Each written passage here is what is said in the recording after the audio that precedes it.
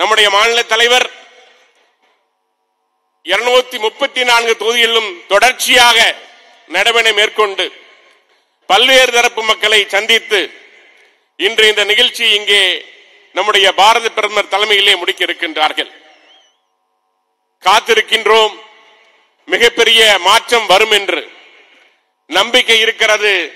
தமிழகத்திலே தாமரை மலரும் என்று உறுதியாக தாமரை மலரும்.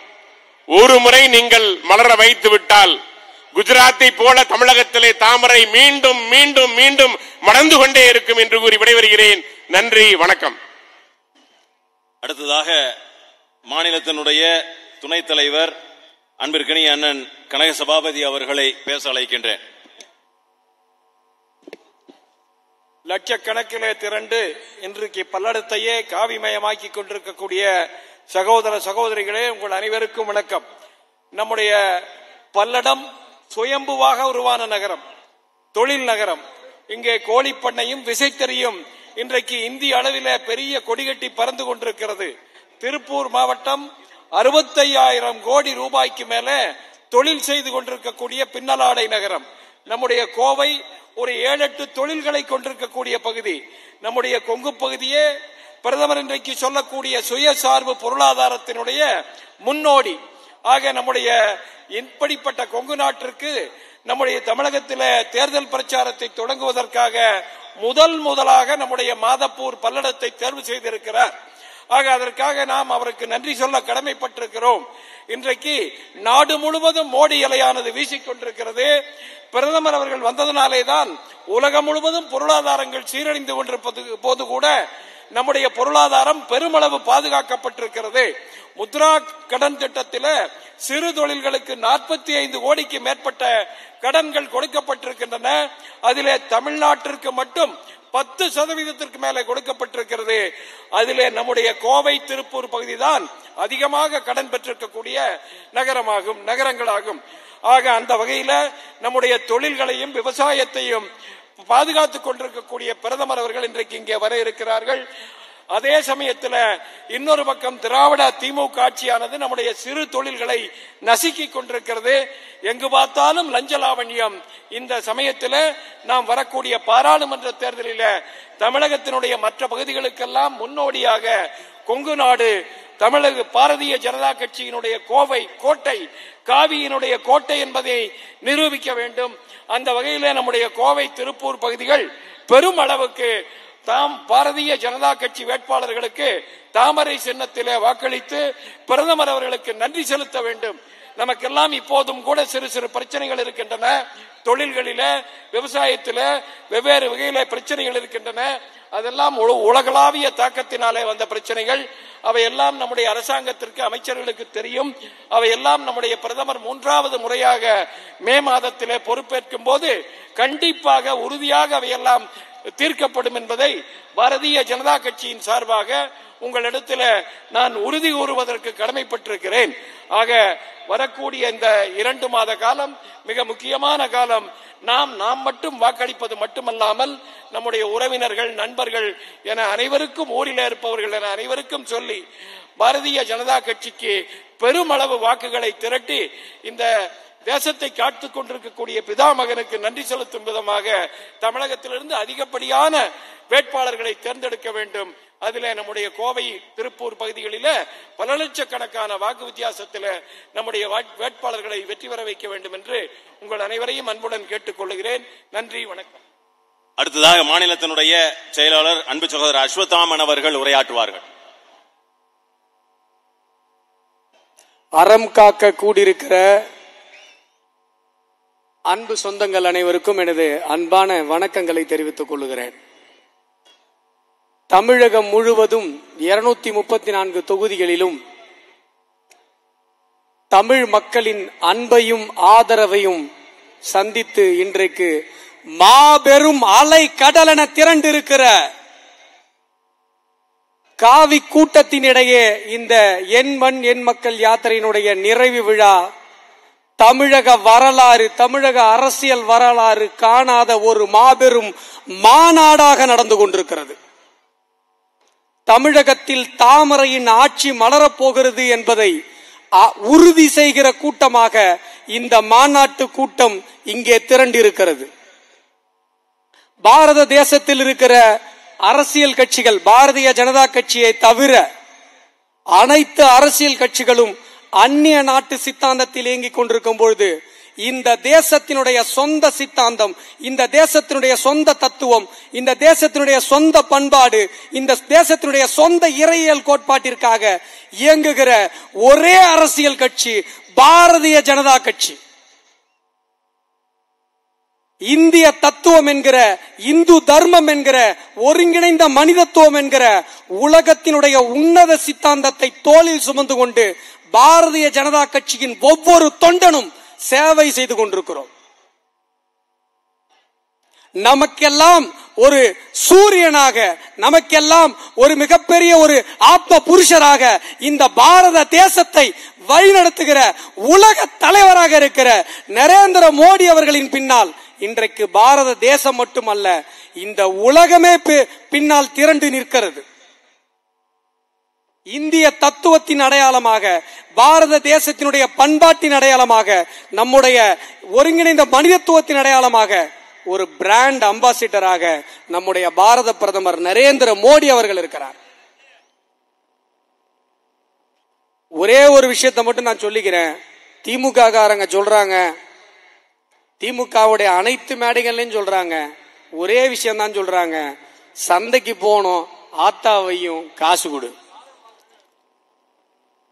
ஸ்டாலின் எங்க போனாலும் என்ன சொல்றாரு? காசு கொடு காசு கொடு காசு கொடு. ஒரு ரூபாய் கொடுத்தா 29 காசு தான் வருதுன்னு பொய்ய புழுகிறாங்க. இதை இந்த அரசியலுக்கான ஒரு யுக்தியாக திமுக கையாளுகிறது. ஒரு ரூபாய் நம்ம டாக்ஸ் கட்டினா ஐம்பது காசு மாநில அரசாங்கத்துக்கும் ஐம்பது காசு மத்திய அரசாங்கத்துக்கும் போகுது. அந்த ஐம்பது காசுல நாற்பத்தோரு சதவீதம் மாநில அரசாங்கத்திற்கு மத்திய அரசு நரேந்திர மோடி அவர்கள் தருகிறார். நாம் ஒரு ரூபாய் டாக்ஸ் கட்டினா இருபத்தி ஒன்பது காசை மத்திய அரசாங்கம் எடுத்துக்கொண்டு மிச்சம் இருக்கிற எழுபத்தி ஒரு காசை மாநில அரசாங்கத்திற்கு தருகிறது. நாம் இதை மக்களிடம் எடுத்துச் செல்ல வேண்டும். இந்த இரண்டாயிரத்தி இருபத்தி நான்கு தமிழகத்தில் தாமரை மலரப் போகிறது. நன்றி வணக்கம். அடுத்ததாக மாநிலத்தினுடைய துணைத் தலைவர் அண்ணன் நாராயணன் திருப்பதி அவர்களை பேச அழைக்கின்றேன்.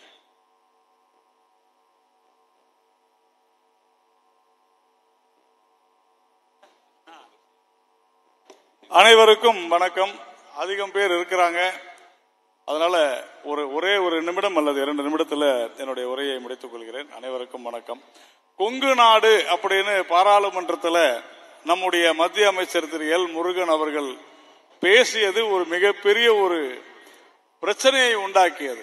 இன்னைக்கு அந்த கொங்கு நாட்டில் பல்லாயிரக்கணக்கான மக்கள் பல லட்சக்கணக்கான மக்கள் இங்கே கூடியிருந்து திரு எல் முருகன் அவர்கள் பாராளுமன்றத்தில் பேசியதை இன்று மெய்ப்பித்திருக்கிறார்கள் என்றுதான் அர்த்தம்.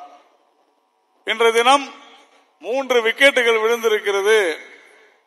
திமுகவுக்கும் பிஜேபிக்கும் நடக்கக்கூடிய கிரிக்கெட் மேட்சில். முதல் விக்கெட்டு நம்முடைய தலைவர் அண்ணாமலை அவர்கள் இந்த பாத யாத்திரை செல்ல போகிறேன் என்று சொன்ன உடனேயே உங்களுடைய பகுதியில் இருக்கக்கூடிய முதல் ஓபனிங் விக்கெட் நம்முடைய செந்தில் பாலாஜி இன்னும் ஜெயில இருக்கிறார் வெளியே வரல. அந்த செந்தில் பாலாஜிக்கு பிறகு விழுப்புரத்தை சேர்ந்த இன்னொரு மிக முக்கிய மூத்த அமைச்சர் நீங்க எல்லாம் பார்த்திருப்பீங்க சட்டசபையில போயா போயா அப்படின்னாரு ஆளுநரை நம்ம ஆளுநர் ரவி அவர்களை. போயா போயான்னு சொன்னவர் சட்டசபையிலிருந்து வெளியே போயிட்டாரு. பொன்முடி மூன்றாவதாக நேற்றைய முன்தினம் ஐ பெரியசாமி. இந்த ஐ பெரியசாமி இந்நேரம் ராஜினாமா செஞ்சிருக்கணும் இன்னும் ராஜினாமா செய்யல. இதுவரையிலும் மூன்று விக்கெட் விழுந்திருக்கிறது. வரக்கூடிய பாராளுமன்ற தேர்தல் முடிவதற்குள்ளாக திமுகவினுடைய பத்து விக்கெட் கண்டிப்பா விழும் என்ற நம்பிக்கை நமக்கு இருக்கிறது. உறுதியாக திரு அண்ணாமலை அவர்கள் அனில் கும்பலை போல பத்து விக்கெட்டுகளையும் திமுகவினுடைய விக்கெட்டுகளையும் சாய்த்து ஒரு மிகப்பெரிய வெற்றியை பாரதிய ஜனதா கட்சிக்கு தமிழகத்திலே கொடுப்பார் என்ற நம்பிக்கையோடு விடைபெறுகிறேன். நன்றி வணக்கம். அடுத்ததாக புதிய நீதி கட்சியினுடைய நிறுவன தலைவர் அன்பிற்கினிய அண்ணன் டாக்டர் ஏசி சி சண்முகம் அவர்களை பேச அழைக்கின்றோம்.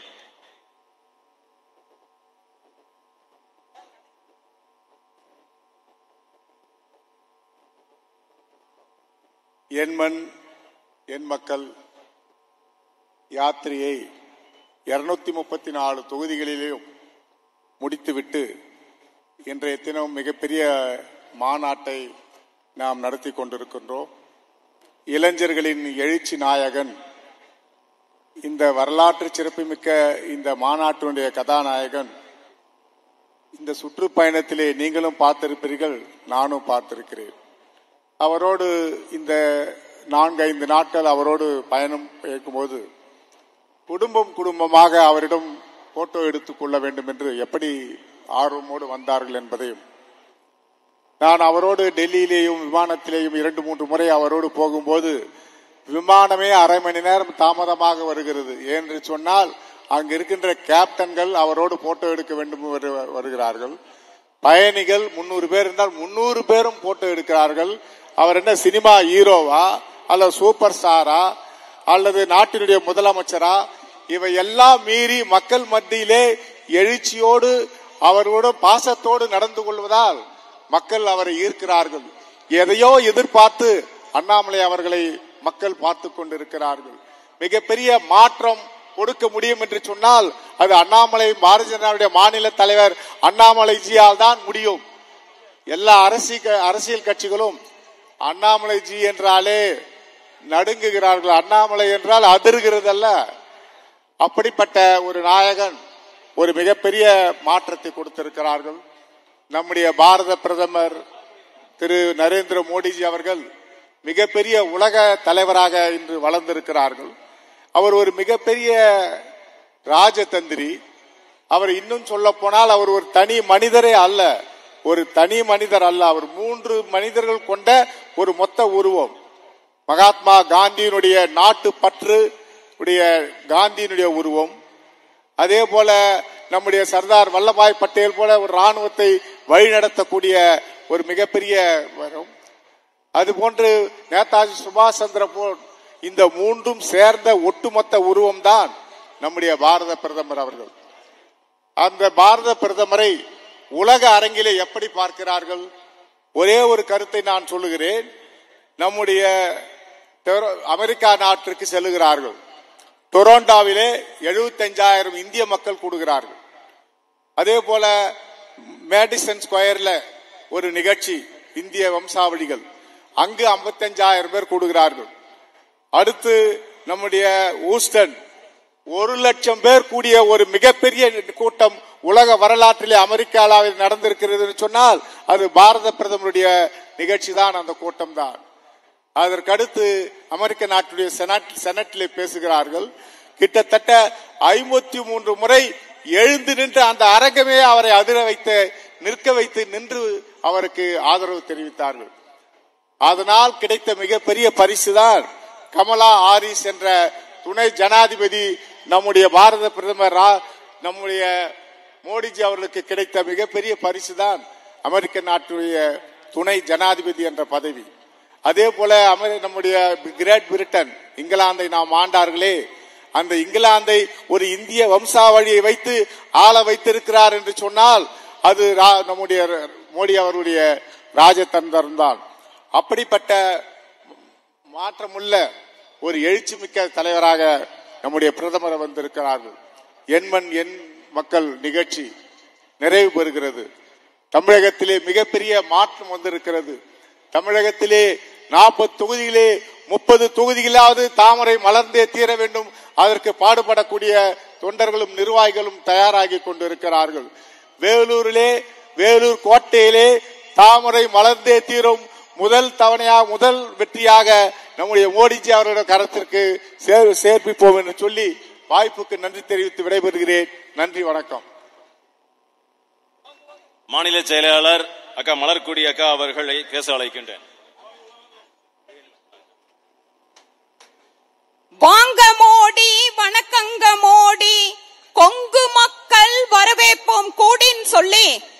இன்று தகிக்கின்ற இந்த வெயிலையும் பொருள்படுத்தாமல் நம்முடைய பாரத பிரதமரையும் எழுச்சிமிகு நம்முடைய மாநில தலைவர் அண்ணாமலை அவர்களையும் காண வேண்டும் என்ற உகையோடு இங்கு வந்து அமர்ந்திருக்கின்ற ஒவ்வொரு காவி சகோதர சகோதரிகளுக்கும் என்னுடைய பணிவான நன்றியினை தெரிவித்துக் கொண்டு என் மண் என் மக்கள் யாத்திரையினுடைய இறுதி யாத்திரை நிறைவு யாத்திரைன்னு கூட சொல்லக்கூடாதுங்க. நாம் சென்ட் ஜார்ஜ் கோட்டையில் காவி கொடியை பறக்க வைத்திருக்கின்ற முதல் அடி முதல் படி இந்த யாத்திரைன்னு சொல்லணும். பல்லடத்துல மோடி பாராளுமன்றத்திலும் மோடின்னு சொல்லி தொண்டர்கள் சொல்லும் போது நம் உள்ளத்தில் எழுந்த ஊகையை சொல்லி மாளாது. நம்ம எல்லாம் பார்த்தங்க பத்து நாளைக்கு முந்தி பொதுக்கூட்டம். நம்மளுடைய திமுக அமைச்சர் கூவி கூவி அழைச்சாரு. இளைஞர்களை அணி திரண்டு வாருங்கள் அணி திரண்டு வாருங்கள்னு கூவி கூவி அழைச்சாரு. அறுபது எழுபது ஏக்கரால மாநாடு போட்டிருக்கோம். ஆயிரக்கணக்கான ட்ரோன்களை நாங்க பறக்க விட்டுருக்கிறோம். அப்படின்னு சொல்லி ஐம்பது ஐம்பது லட்சக்கணக்கான கொடிகளை நாங்க கட்டியிருக்கிறோம் சொல்லி கூவி கூவி அழைச்சாருங்க. ஆனா அந்த இளைஞரணி மாநாட்டுல மாநாட்டு தலைவர் பேசிட்டு இருக்காரு. முன்னாடி இருக்கிற சேர் பூரா காலியாயி போச்சு.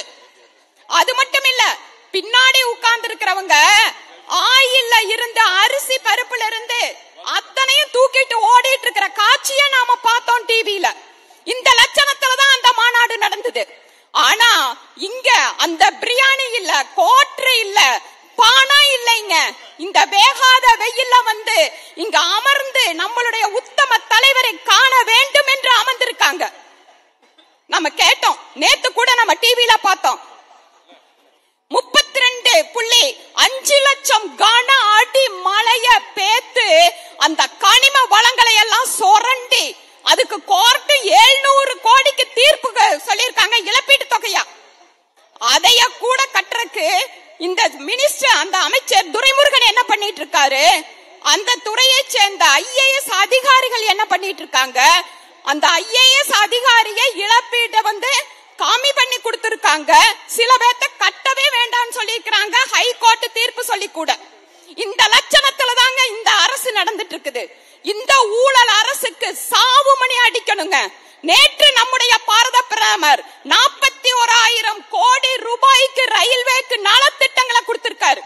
இந்தியாவில் இருக்கிற ஒவ்வொரு ஏழை எளிய மக்களும் ரயில்வேல போகணும் அந்த வசதியை அனுபவிக்கணும்னு சொல்லி எழுபத்தோராயிரம் அளவுக்கு நலத்திட்டங்களை நம்மளுடைய மோடிஜி அவர்கள் கொடுத்திருக்காங்க. அதனால நாம இந்த தேசத்தின் மீது இந்த நாட்டின் மீது இந்த மண்ணின் மீது பற்று கொண்டுள்ள நம்முடைய பாரத பிரதமர் அவர்களோடு நம்முடைய மாநில தலைவர் அண்ணாமலை அவர்களோடு கைகோர்ப்போம் வாருங்கள்.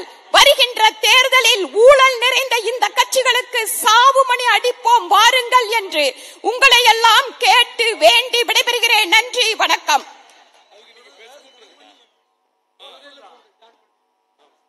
அடுத்ததாக மாநிலத்தினுடைய துணைத் தலைவர் சேலம் பெருங்கோட்டத்தினுடைய பொறுப்பாளர் அன்பிற்கினிய அண்ணன் டாக்டர் கே பி ராமலிங்கம் அவர்கள் உரையாற்றுவார்கள்.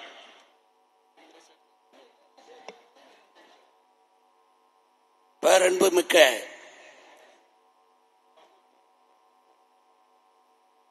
பாரதிய ஜனதா கட்சியினுடைய வரலாற்றில் இத்தகைய நிகழ்வு இதற்கு முன்பு நடந்த வரலாறு இல்லை என்று சொல்லத்தக்க வகையில்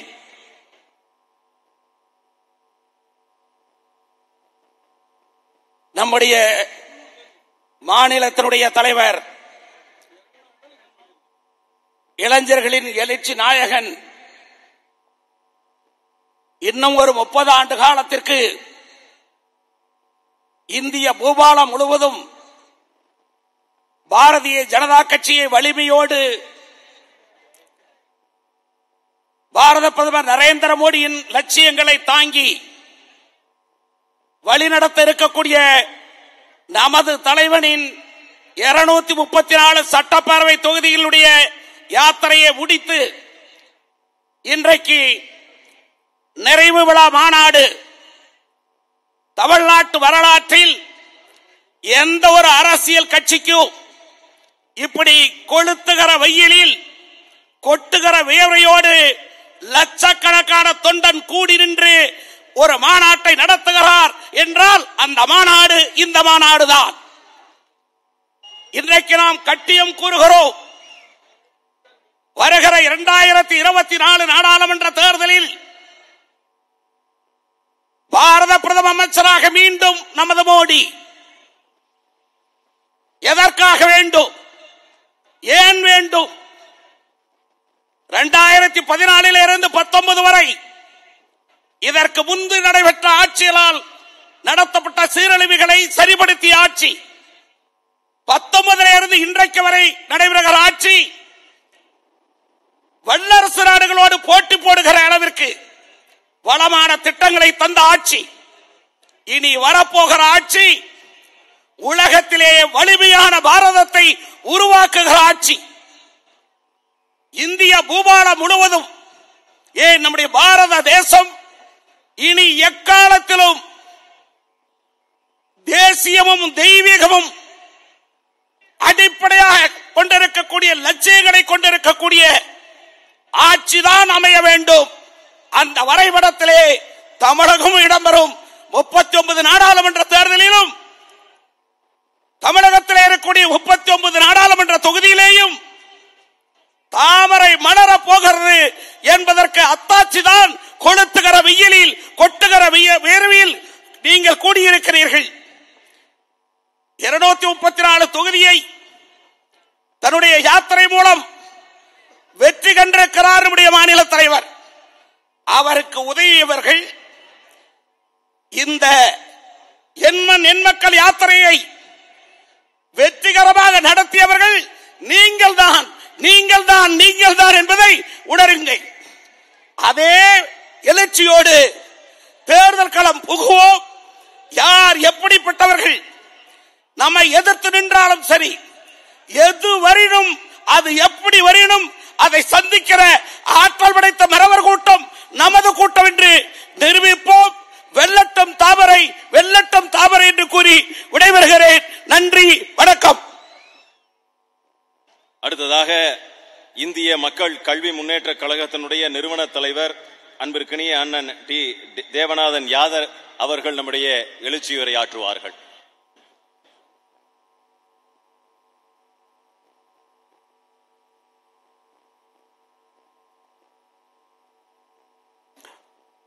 பாரத் அன்பிற்கினிய லட்சக்கணக்கில் சூழ்ந்திருக்கின்ற தாமரை நெஞ்சங்களே அண்ணாதுரை ஆரம்பித்த திராவிட இயக்கத்தை வேறறுக்க வந்த மாநில தலைவர் அண்ணாமலை அவர்களே பாரதிய ஜனதாக்கு நல்ல ஒரு அஸ்தியாவரம் போட்டு ஊழலற்ற அமைச்சராக ஐந்து வருடம் பணிபுரிந்த அன்றுக்கினிய அண்ணன் பொன் ஆ, பொன்னார் அவர்களே இந்துக்களின் போராளி அன்பு அண்ணன் ராஜா அவர்களே கொங்கு தமிழ் பேசி இந்தியா முழுவதும் பவனி வருகின்ற அன்பு சகோதரி கோவை பெற்றெடுத்த கொங்கு தங்கம் வானதி சீனிவாசன் எம்எல்ஏ அவர்களே. அன்புக்கினிய பேராசிரியர் கனக சபாபதி அவர்களே. அன்புக்கிரிய அண்ணன் வி பி துரசாமி அவர்களே. அன்பு த- அன்பு சகோதரர் கே பி ராமலிங்கம் அவர்களே. அமைப்பு செயலாளர் அன்பு அண்ணன் கேசவ விநாயகம் அவர்களே. மாநில தேர்தல் அலுவலகத்தின் பொறுப்பாளர் அன்பு அண்ணன் சக்கரவர்த்தி அவர்களே மாநில பொதுச் செயலாளர் அன்பு சகோதரர் கருப்பு முருகானந்தம் அவர்களே மாநில துணைத் தலைவர் அன்பு இனிய நண்பர் தொலைக்காட்சிகளில் திராவிட இயக்கங்களை வேறிருக்கின்ற நாராயணன் திருப்பதி அவர்களே பாரதிய ஜனதா கட்சியின் தொண்டர்கள் திராவிட இயக்கத்தால் பழிவாங்கப்பட்ட போதெல்லாம் அவர்களுக்கு கோர்ட்டு வாசல் ஏறி இரவென்றும் பகல் என்றும் பாராமல் பாரதிய ஜனதா கட்சியின் தொண்டர்களை காத்து வருகின்ற அன்பு தம்பி பால் கனகராஜ் அவர்களே அன்பிற்கினிய அன்பு சகோதரி மொடக்குறிச்சி எம்எல்ஏ சரஸ்வதி அக்கா அவர்களே வட தமிழகத்திலே வாழ்வீச்சாக திராவிட இயக்கங்களுக்கு எதிராக வலம் வந்து கொண்டிருக்கின்ற இளம் தலைவர் அன்பு தம்பி வினோஜ் செல்வம் அவர்களே தமிழக பாரதிய ஜனதா கட்சியின் பொருளாதாரத்தை காப்பாற்றி வருகின்ற அன்பு அண்ணன் கே ஆர் சேகர் அவர்களே. மாநில செயலாளர் அன்பு தம்பி டால்பின் ஸ்ரீதர் அவர்களே. யாத்திரையின் அமைப்பாளர் அன்பு சகோதரர் நரேந்திரன் அவர்களே. யாத்திரையை சிறப்பாக வடிவமைத்து கொடுத்து எத்தனை முறை சிறை சென்றாலும் மீண்டும் யாத்திரையை கலந்து கொண்டிருக்கின்ற அன்பு தம்பி அமர் பிரசாத் ரெட்டி அவர்களே.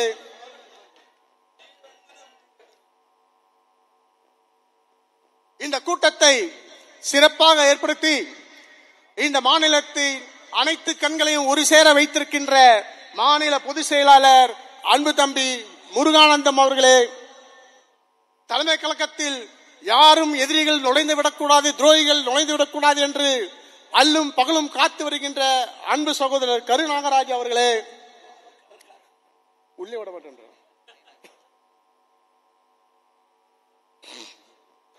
சட்டமன்றத்தில் அமைச்சராக பவனி வந்து இன்றைய தினம் பாரதிய ஜனதா கட்சியின் குரலாக ஒழித்துக் கொண்டிருக்கின்ற அன்பிற்கினிய இனிய நண்பர் பண்ணையார் என்று தென் மாவட்டங்களில் அழகோடு அழைக்கக்கூடிய பண்ணையார் திருநெல்வேலி சட்டமன்ற உறுப்பினர் நயினார் நாகேந்திரன் அவர்களே விவசாயிகள் சங்கத்தை கூட்டி தமிழகம் முழுவதும் பவனி வந்து கொண்டிருக்கின்ற அன்பு தம்பி நாகராஜ் அவர்களே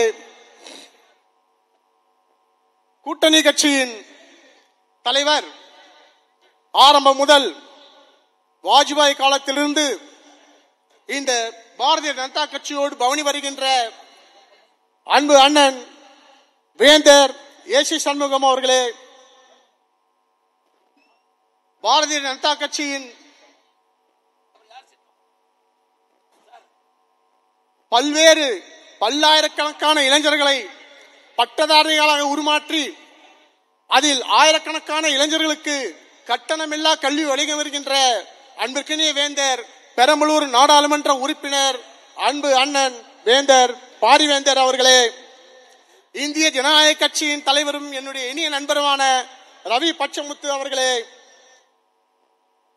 தென் மாவட்டம் முழுவதும் எங்கு எந்த பிரச்சனை இருந்தாலும் அங்கே இருப்பவர் மக்களோடு தோளோடு தோள் கொட்டி இருக்கின்ற அன்பு சகோதரர் இனிய நண்பர் ஜான் பாண்டியன் அவர்களே அன்பிற்கினிய பேச்சாளர் காந்தி கண்ட இந்து ராஜ்யம் காமராஜர் கண்ட ஊழற்ற ராஜ்யம் அனைத்தையும் ஒருங்கே கொண்டு பவனி வருகின்ற அன்பு அண்ணன் தமிழருவி மணியன் அவர்களே முன்னாள் சட்டமன்ற உறுப்பினர் அன்பு தம்பி விடுதல் சேகர் அவர்களே இங்கே வர இருக்கின்ற மூப்பனாரின் வாரிசு காமராஜின் அடரேறு அன்பு கிழி அண்ணன் ஜி கே வாசன் அவர்களே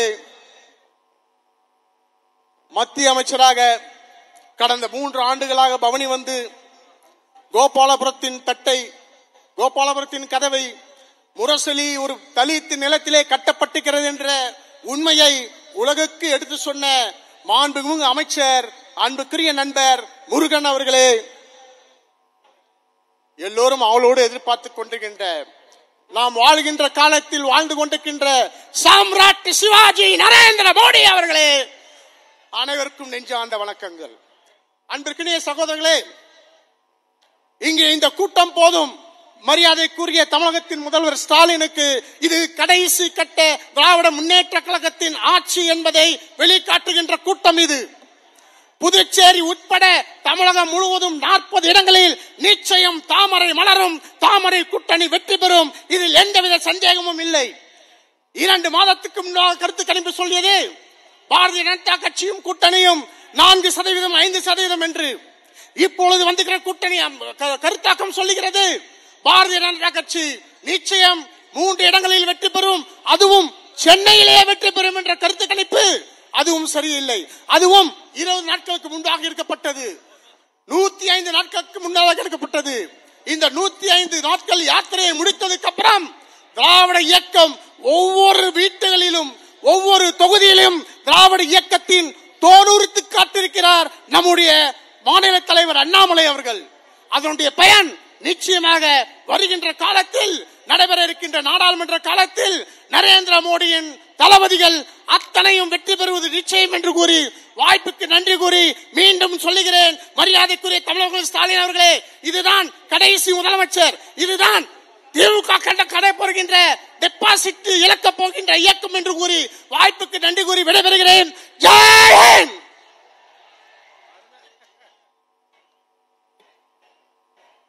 அடுத்ததாக எப்பொழுதும் பாரதிய ஜனதா கட்சியை அற்புதமாக வழிநடத்தி கொண்டு மட்டும் கிடையாது. தர்மத்துக்காக எப்பொழுதும் குரல் கொடுத்து கொண்டிருக்கக்கூடிய தேசியத்தினுடைய செயற்குழு உறுப்பினர் அன்பிற்கினி அண்ணன் ஹெச் ராஜா அவர்களை பேச அழைக்கின்றேன்.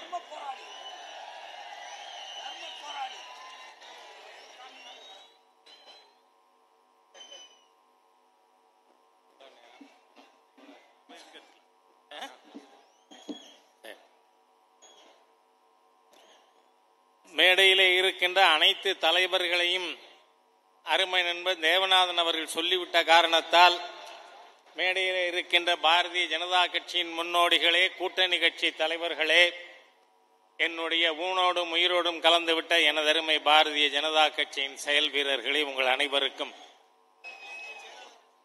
என்னுடைய சிரம் தாழ்ந்த வணக்கங்களை தெரிவித்துக் கொள்கிறேன். ஐம்பத்தி ஏழு ஆண்டு காலம்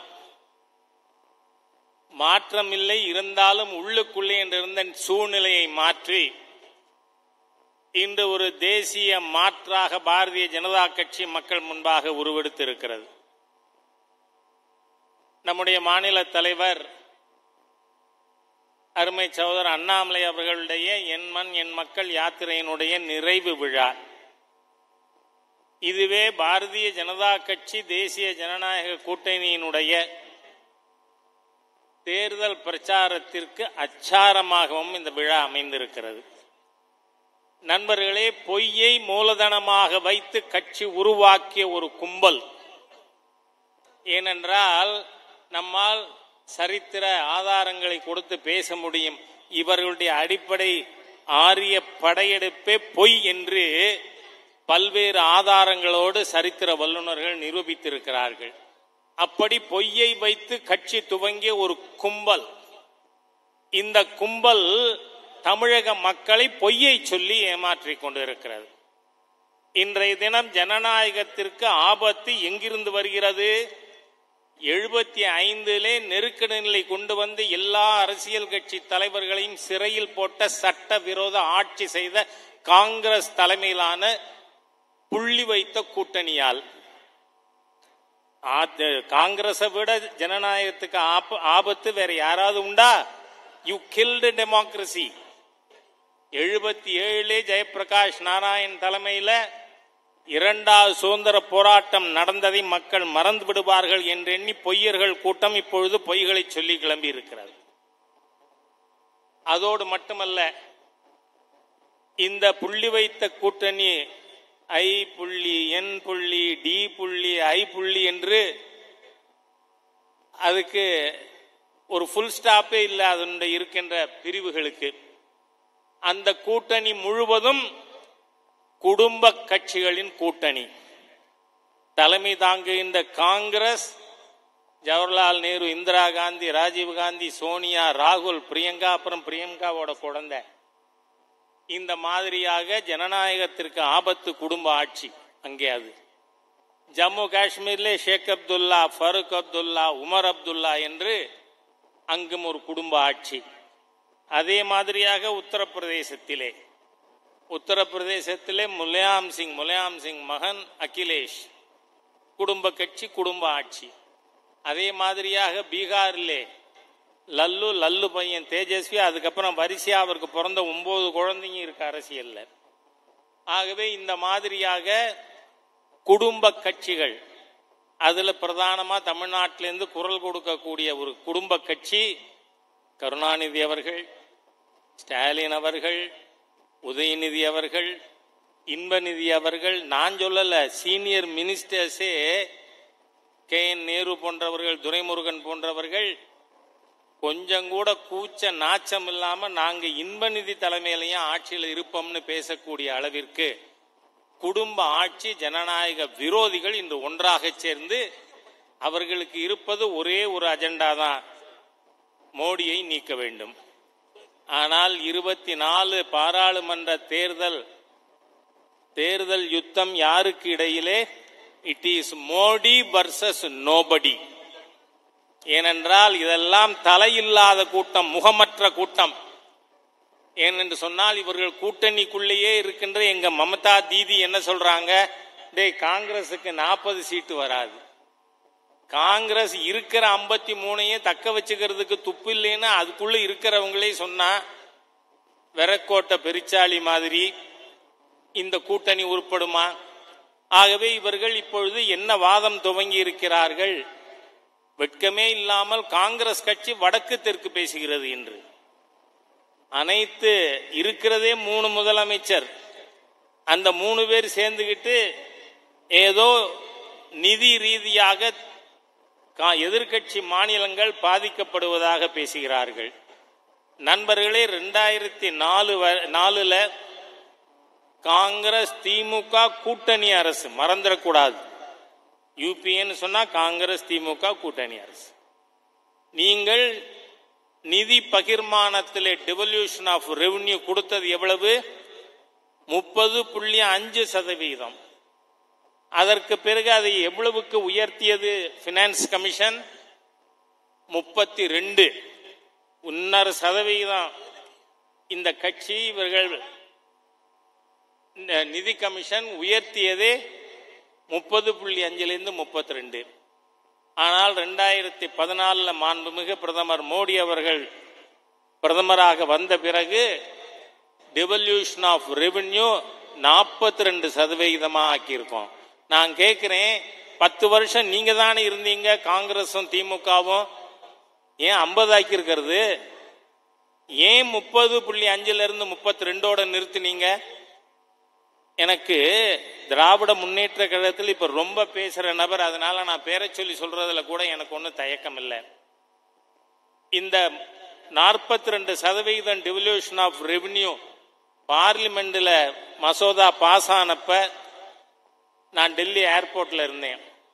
அப்ப திருச்சி சிவா ஏர்போர்ட்டுக்கு வராரு. ஏர்போர்ட்ல வந்து என்னை பார்த்த உடனே இன்னைக்கு வந்திருக்கிற இந்த மசோதாவை நாங்க கொண்டு வந்திருந்தா தம்பட்டம் அடித்திருப்போம். மாநிலங்களுக்கு அதிக நிதி அதிகாரம் கொடுத்து விட்டோம் என்று நீங்கள் அமைதியாக ஆரவாரம் இல்லாமல் அதிகரித்திருக்கிறீர்கள்னு திருச்சி சிவா டெல்லி ஏர்போர்ட்ல எங்கிட்ட சொன்னது. ஆகவே உள்ளுக்குள்ள ஒன்று பேசுறது வெளியில வந்து கூவுறது அதெல்லாம் தப்பு நேர்மையற்ற செயல். ஆகவே இந்த தினம் மத்திய அரசாங்கம் மாநிலத்திற்கு அதிகமாக நிதி தருவது என்பது மாத்திரமல்ல ஒரு ஒரு திட்டத்திலும் மத்திய அரசாங்கம் it is a partner bigger partner மத்திய அரசு இன்னைக்கு எந்த ஒரு திட்டம் எடுத்துக்கொண்டாலும் வெக்கமே இல்லாம நான் சொல்லியிருக்கேன் பெரிய மனிதர்கள் இங்க தலைவர்கள்லாம் இருக்காங்க. இருந்தாலும் புரியறதுக்காக சொல்றேன். எப்பவுமே எனக்கு தெரிஞ்சிருக்குங்கிறத பத்தி நான் பெருசாக பெருசா எடுக்கிறது இல்ல உங்களுக்கு புரியுதான்னு. இப்ப பக்கத்து வீட்டுல குழந்தை பிறந்தா என்னங்க பண்ணணும்? வாழ்த்து சொல்லிட்டு வரணும். வாசப்படியில் நின்னுகிட்டு நான் தான் காரணம் நான் தான் காரணம் நான் தான் காரணம்னு பேசலாமா? என்ன வெட்கங்கெட்ட அருவருக்கத்தக்க ஒரு ஆட்சி இந்த தமிழகத்தில் இருந்து கொண்டு இருக்கிறது என்று நாம் பார்க்க வேண்டும். பிரதம மந்திரி வீட்டு வசதி திட்டம். அர்பன் காக்ளமரேஷனுக்கு ஏற்கனவே முடிஞ்சு போச்சு இருபத்தி ரெண்டுல அதனால இப்ப இருக்கிறது கிராம பகுதிகளுக்கான வீட்டு வசதி திட்டம். அதுக்கு பேர் என்ன? பிரதான் மந்திரி கிராமீன் ஆவாஸ் யோஜனா. நீங்க அதை என்ன பேர் மாத்தி இருக்கீங்க இப்ப தமிழ்நாட்டில்? கலைஞர் கிராமப்புற வீட்டு வசதி திட்டமா? என்னையா அநியாயம்? வெக்கமா இருக்காதா? அருவருப்பா இருக்காதா உங்களுக்கு? ஏன் இப்படி செய்கிறீர்கள்? அது பிரதம மந்திரி நாங்க ஒன்றும் நரேந்திர மோடி வீட்டு வசதி திட்டம் சொல்லல. பிரதம மந்திரி வீட்டு வசதி கிராமப்புற வீட்டு வசதி திட்டம். உங்களை மாதிரி எந்த சம்பந்தம் இல்லாமல் உங்கள் அப்பா பேரையே வச்சுக்கிட்டு பஸ் ஸ்டாண்டு கட்டினாலும் அப்பா பேர். எந்த திட்டமாக இருந்தாலும் அப்பா பேர் வச்சுக்கிட்டு இருக்கிற ஒரு குடும்ப கட்சி இல்லை பாரதிய ஜனதா கட்சி. அதே மாதிரியா ஒரு ஒரு வீட்டுக்கும் குழாயில் தண்ணி. ஜல் ஜீவன் அபியான் ஷெகாவத் அவர்கள் அதுக்கு அமைச்சராக இருக்கார். அந்த திட்டத்தை இவர்கள் உடனே வீட்டுக்கு குடிநீர் வசதி திட்டம். அட ஒன்று வேணா இது நேர்மையான அரசாங்கமாக இருந்தால் ஒரு ஒரு ரேஷன் கடையிலையும் இந்த அரசாங்கம் போர்டு வைக்கணும். ஏனென்று சொன்னால் ரெண்டாயிரத்தி இருபது ஏப்ரல் மாதம் ஒன்னாம் தேதியிலிருந்து இந்த கொடிய நோய் கொரோனாவால் மக்கள் பாதிக்கப்பட்ட உடனே ஒரு ஒரு நபருக்கும் ஒரு வீட்டுக்கு இல்லை ஒரு ஒரு நபருக்கும் மாதம் ஐந்து கிலோ அரிசி ஒரு கிலோ பருப்பு. எண்பது கோடி மக்களுக்கு தரப்படுகிறது. ரேஷன் கடையில் பையில் முதலமைச்சர் படமும் அவங்க அப்பா படமுமா? வெக்கமில்ல. ரேஷன் கடையில் என்ன எழுதி போடணும் போடு? இது மாண்புமிகு பிரதமரின் திட்டம் அப்படின்னு ஃப்ளக்ஸ் வச்சிருக்கணும்.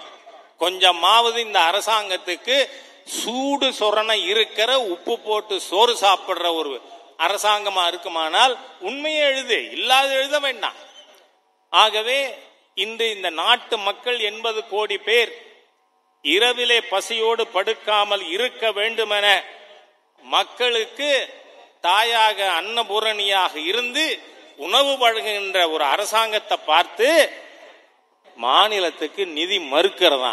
உங்க மாநிலத்தில் என்ன நிதி இருக்கு? அஞ்சு லட்சத்து எட்டு லட்சத்தி முப்பத்தி மூவாயிரம் கோடி கடன் தமிழ்நாடு எதுல முதன்மை மாநிலம்? கடன் வாங்கினதுல முதன்மை மாநிலம். பாடுபட்டு அதாவது கடன் வாங்கினா என்ன ஆகும்? ஆன செலவில் அதிகம் செலவானால் மானமிழந்து மதிகட்டு போன திசை எல்லாருக்கும் கள்ளனாய் ஏழ்பிறப்பும் தீயனாய் நல்லா இருக்கும் புல்லனாம் நாடு என்று ஔவையார் சொன்னது போல தமிழகத்தை பரிதவிக்கின்ற பிச்சைக்கார மாநிலமாக ஆக்கிவிட்ட ஒரு அரசாங்கத்தை வீட்டுக்கு அனுப்பணுமா வேண்டாமா? அனுப்பணுமா வேண்டாமா? அனுப்பணும். ஆகவே நாம் தேசிய ஜனநாயக கூட்டணிக்கு பாரதிய ஜனதா கட்சியினுடைய தலைமையிலான ஒரு மத்திய அரசாங்கத்தை மீண்டும் கொண்டு வர வேண்டும் மோடி மீண்டும் மோடி. இந்த திட்டங்கள் தொடர வேண்டும்.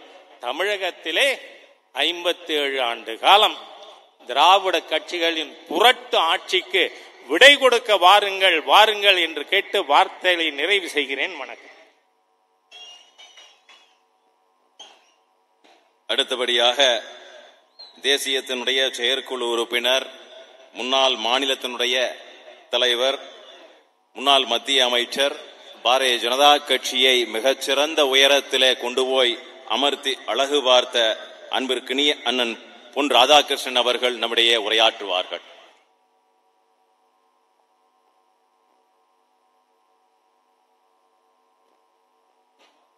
भारत माता के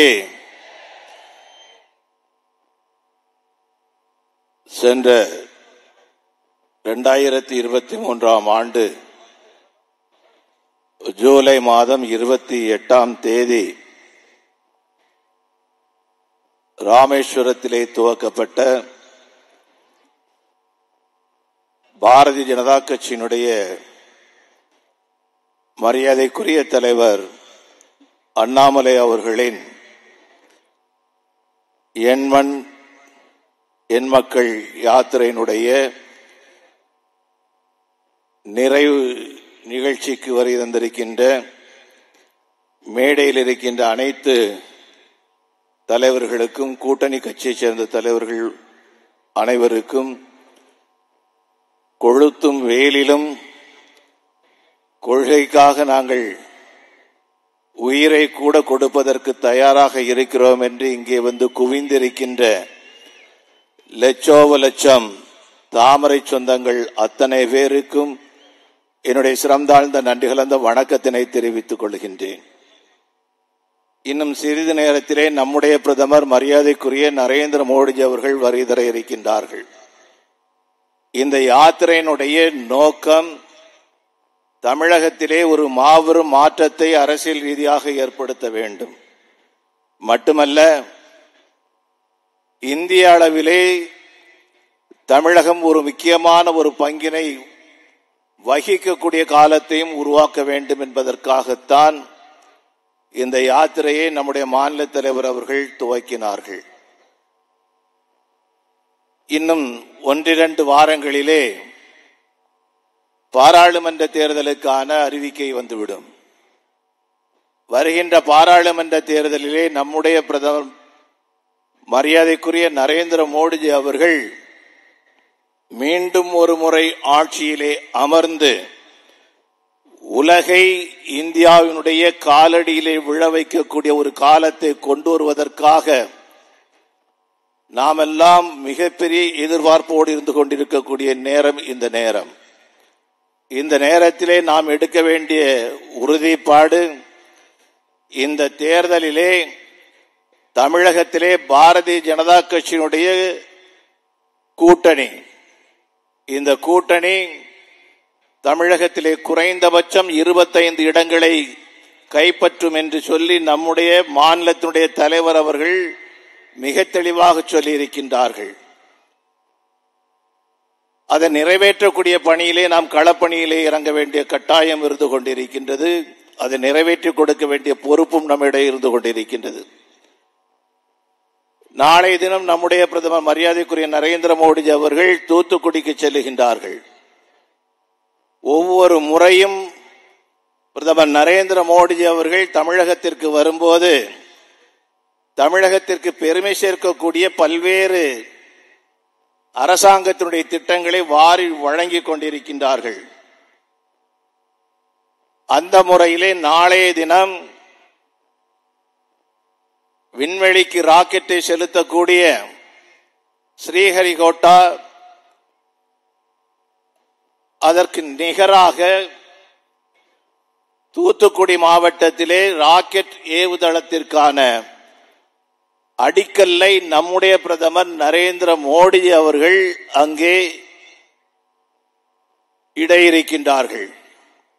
மட்டுமல்ல தூத்துக்குடி துறைமுகத்தினுடைய அவுட்டர் போர்ட் அந்த அவுட்டர் போர்ட் வந்தாச்சு அப்படின்னு சொன்னா மேற்கு மாவட்டங்கள் திருப்பூர் மாவட்டம் கோவை மாவட்டம் நாமக்கல் மாவட்டம் முழுக்க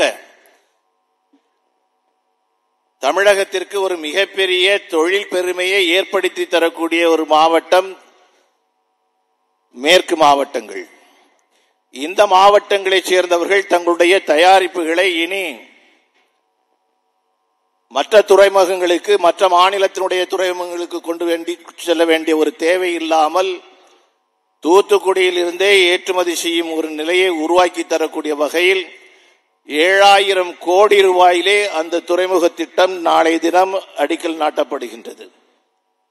இப்படி பல்லாயிரக்கணக்கான நாளைக்கு மட்டும் ஏறக்குறைய பதினேழாயிரம் கோடி ரூபாய்க்கான திட்டங்களை நம்முடைய பிரதமர் தமிழகத்திற்காக வழங்கி இருக்கின்றார்கள். நேற்றைக்கு நம்முடைய பிரதமர் நரேந்திர மோடிஜி அவர்கள் இந்தியா முழுக்க இருக்கக்கூடிய ஏறக்குறைய ஐநூற்றி ஐம்பத்தி நான்கு ரயில் நிலையங்களை மேம்படுத்தக்கூடிய ஒரு திட்டத்தை கொண்டு வந்து செயல்படுத்தினார்கள். அதிலும் தமிழகத்திற்கு மிகப்பெரிய பங்கை தந்திருக்கின்றார்கள். இப்படி ஒவ்வொரு முறையும் நம்முடைய பிரதமர் தமிழகத்தின்பால் அன்பு கொண்டு தமிழர்களுடைய வளர்ச்சியிலே அன்பு கொண்டு வாரி வழங்கிக் கொண்டிருக்கின்றார்கள். மட்டுமல்ல நம்முடைய உயிருக்கு நிகரான நம்முடைய தாய்மொழி தமிழ்மொழி இந்த தமிழ் மொழியை இதுவரைக்கும் இந்திய பிரதமர்கள் எத்தனையோ பேர் இருந்திருக்கின்றார்கள். பண்டித ஜவஹர்லால் முதற்கொண்டு நேரு முதற்கொண்டு பல பேர் இருந்திருக்கின்றார்கள். எந்த ஒரு பிரதம மந்திரியும் தமிழ் மொழியினுடைய பெருமையை பற்றி இந்த அளவுக்கு மேன்மைப்படுத்தி சொன்னதாக சரித்திரமே கிடையாது. தமிழை அவர்கள் உச்சரித்ததாக சரித்திரம் கிடையாது. அவங்களுக்கெல்லாம் தெரிஞ்ச ஒற்றை தமிழ் வார்த்தை வணக்கம். அது மேடையில் எழுதி கொடுப்பாங்க. இந்த வணக்கத்தை தவிர்த்து வேற எதையுமே தெரியாது. வள்ளுவனை தெரியாது. வேற எந்த புலவர்களை பற்றியும் தெரியாது. தெரியும் யாரை பற்றியும் தெரியாது. தமிழனுடைய பெருமையை பற்றி தெரியவே தெரியாது. அப்படிப்பட்ட நிலையிலே வடக்கில் இருக்கக்கூடியவர்கள் தமிழை கற்க வேண்டும். மாணவர்கள் தமிழை கற்க வேண்டும் என்று சொல்லி பல்லாயிரக்கணக்கான மாணவர்கள் இருக்கக்கூடிய கூட்டத்திலே குறைந்தபட்சம் நூறு தமிழ் வார்த்தைகளை டெல்லியை சேர்ந்த ஹிந்தி மொழி பேசுகின்ற தமிழ் மாணவர்கள் படித்தாக வேண்டும் பேசியாக வேண்டும் என்று வலியுறுத்தி சொன்னது நம்முடைய பிரதமர் நரேந்திர மோடி அவர்கள். அது ஐக்கிய நாடுகளுடைய சபையாக இருந்தாலும் சரிதான் எந்த நாட்டினுடைய சபையாக இருந்தாலும் சரிதான். அங்கெல்லாம் தமிழினுடைய பெருமையை உயர்த்தி காட்டியிருக்கின்றார்.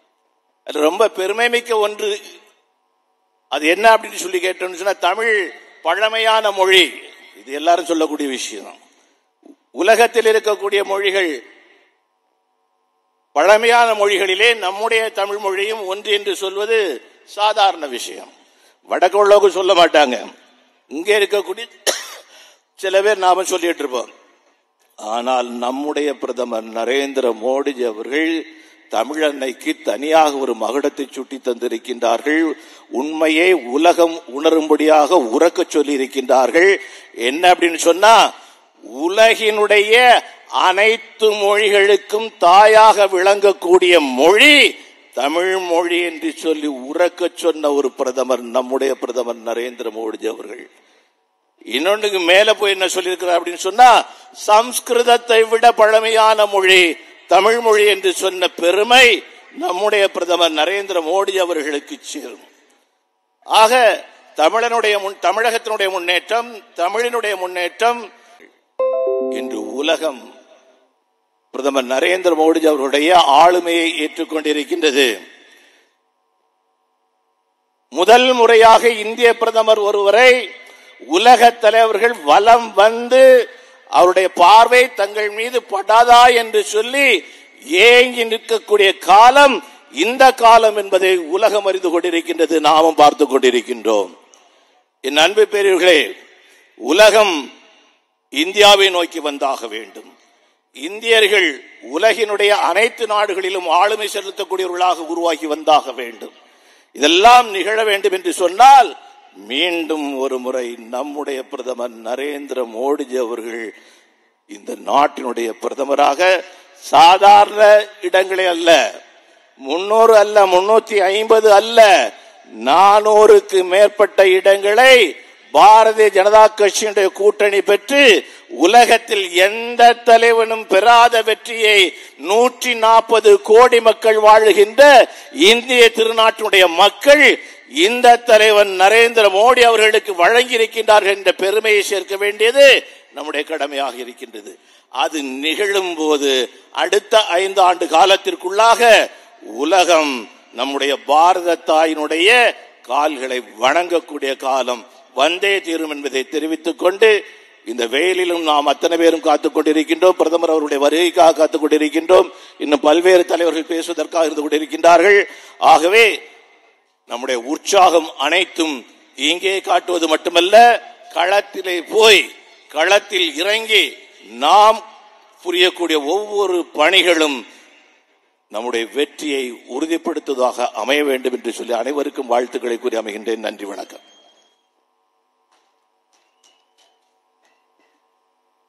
அடுத்ததாக பாரதிய ஜனதா கட்சியினுடைய சட்டமன்ற எதிர்க்கட்சியினுடைய தலைவர் நெல்லை கண்டெடுத்த தங்கம் அன்பிற்கினிய அண்ணன் நயினார் நாகேந்திரன் அவர்கள் நம்முடைய உரையாற்றுவார்கள்.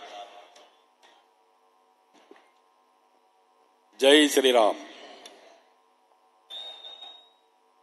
இங்க ஒரு நாலஞ்சு லட்சம் பேருக்கு மேல வந்திருக்கிறோம். ஒரு தடவை ஜெய் ஸ்ரீராம்னு சொன்னா இங்க இருந்து எழுப்பக்கூடிய ஒலி அயோத்தியில போய் ராமருக்கு எதிரொலிக்கணும். திருப்பி நான் சொல்றேன் சொல்லுங்க பார்க்கலாம். ஜெய் ஸ்ரீராம். ஜெய் ஜெய் ஸ்ரீராம். ஜெய் ஸ்ரீராம். ஜெய் ஜெய் ஸ்ரீராம். அனைவருக்கும் வணக்கம். இந்த அற்புதமான நல்ல நாளில் ராமன் ராமேஸ்வரத்தில் ஈஸ்வரனை வழிபட்ட இடத்திலிருந்து இந்த நாட்டு மக்களுக்காக எதையும் எதிர்பாராமல் தான் வகித்து வந்த பதவியை துறந்து ஐபிஎஸ் என்கின்ற பதவியை துறந்து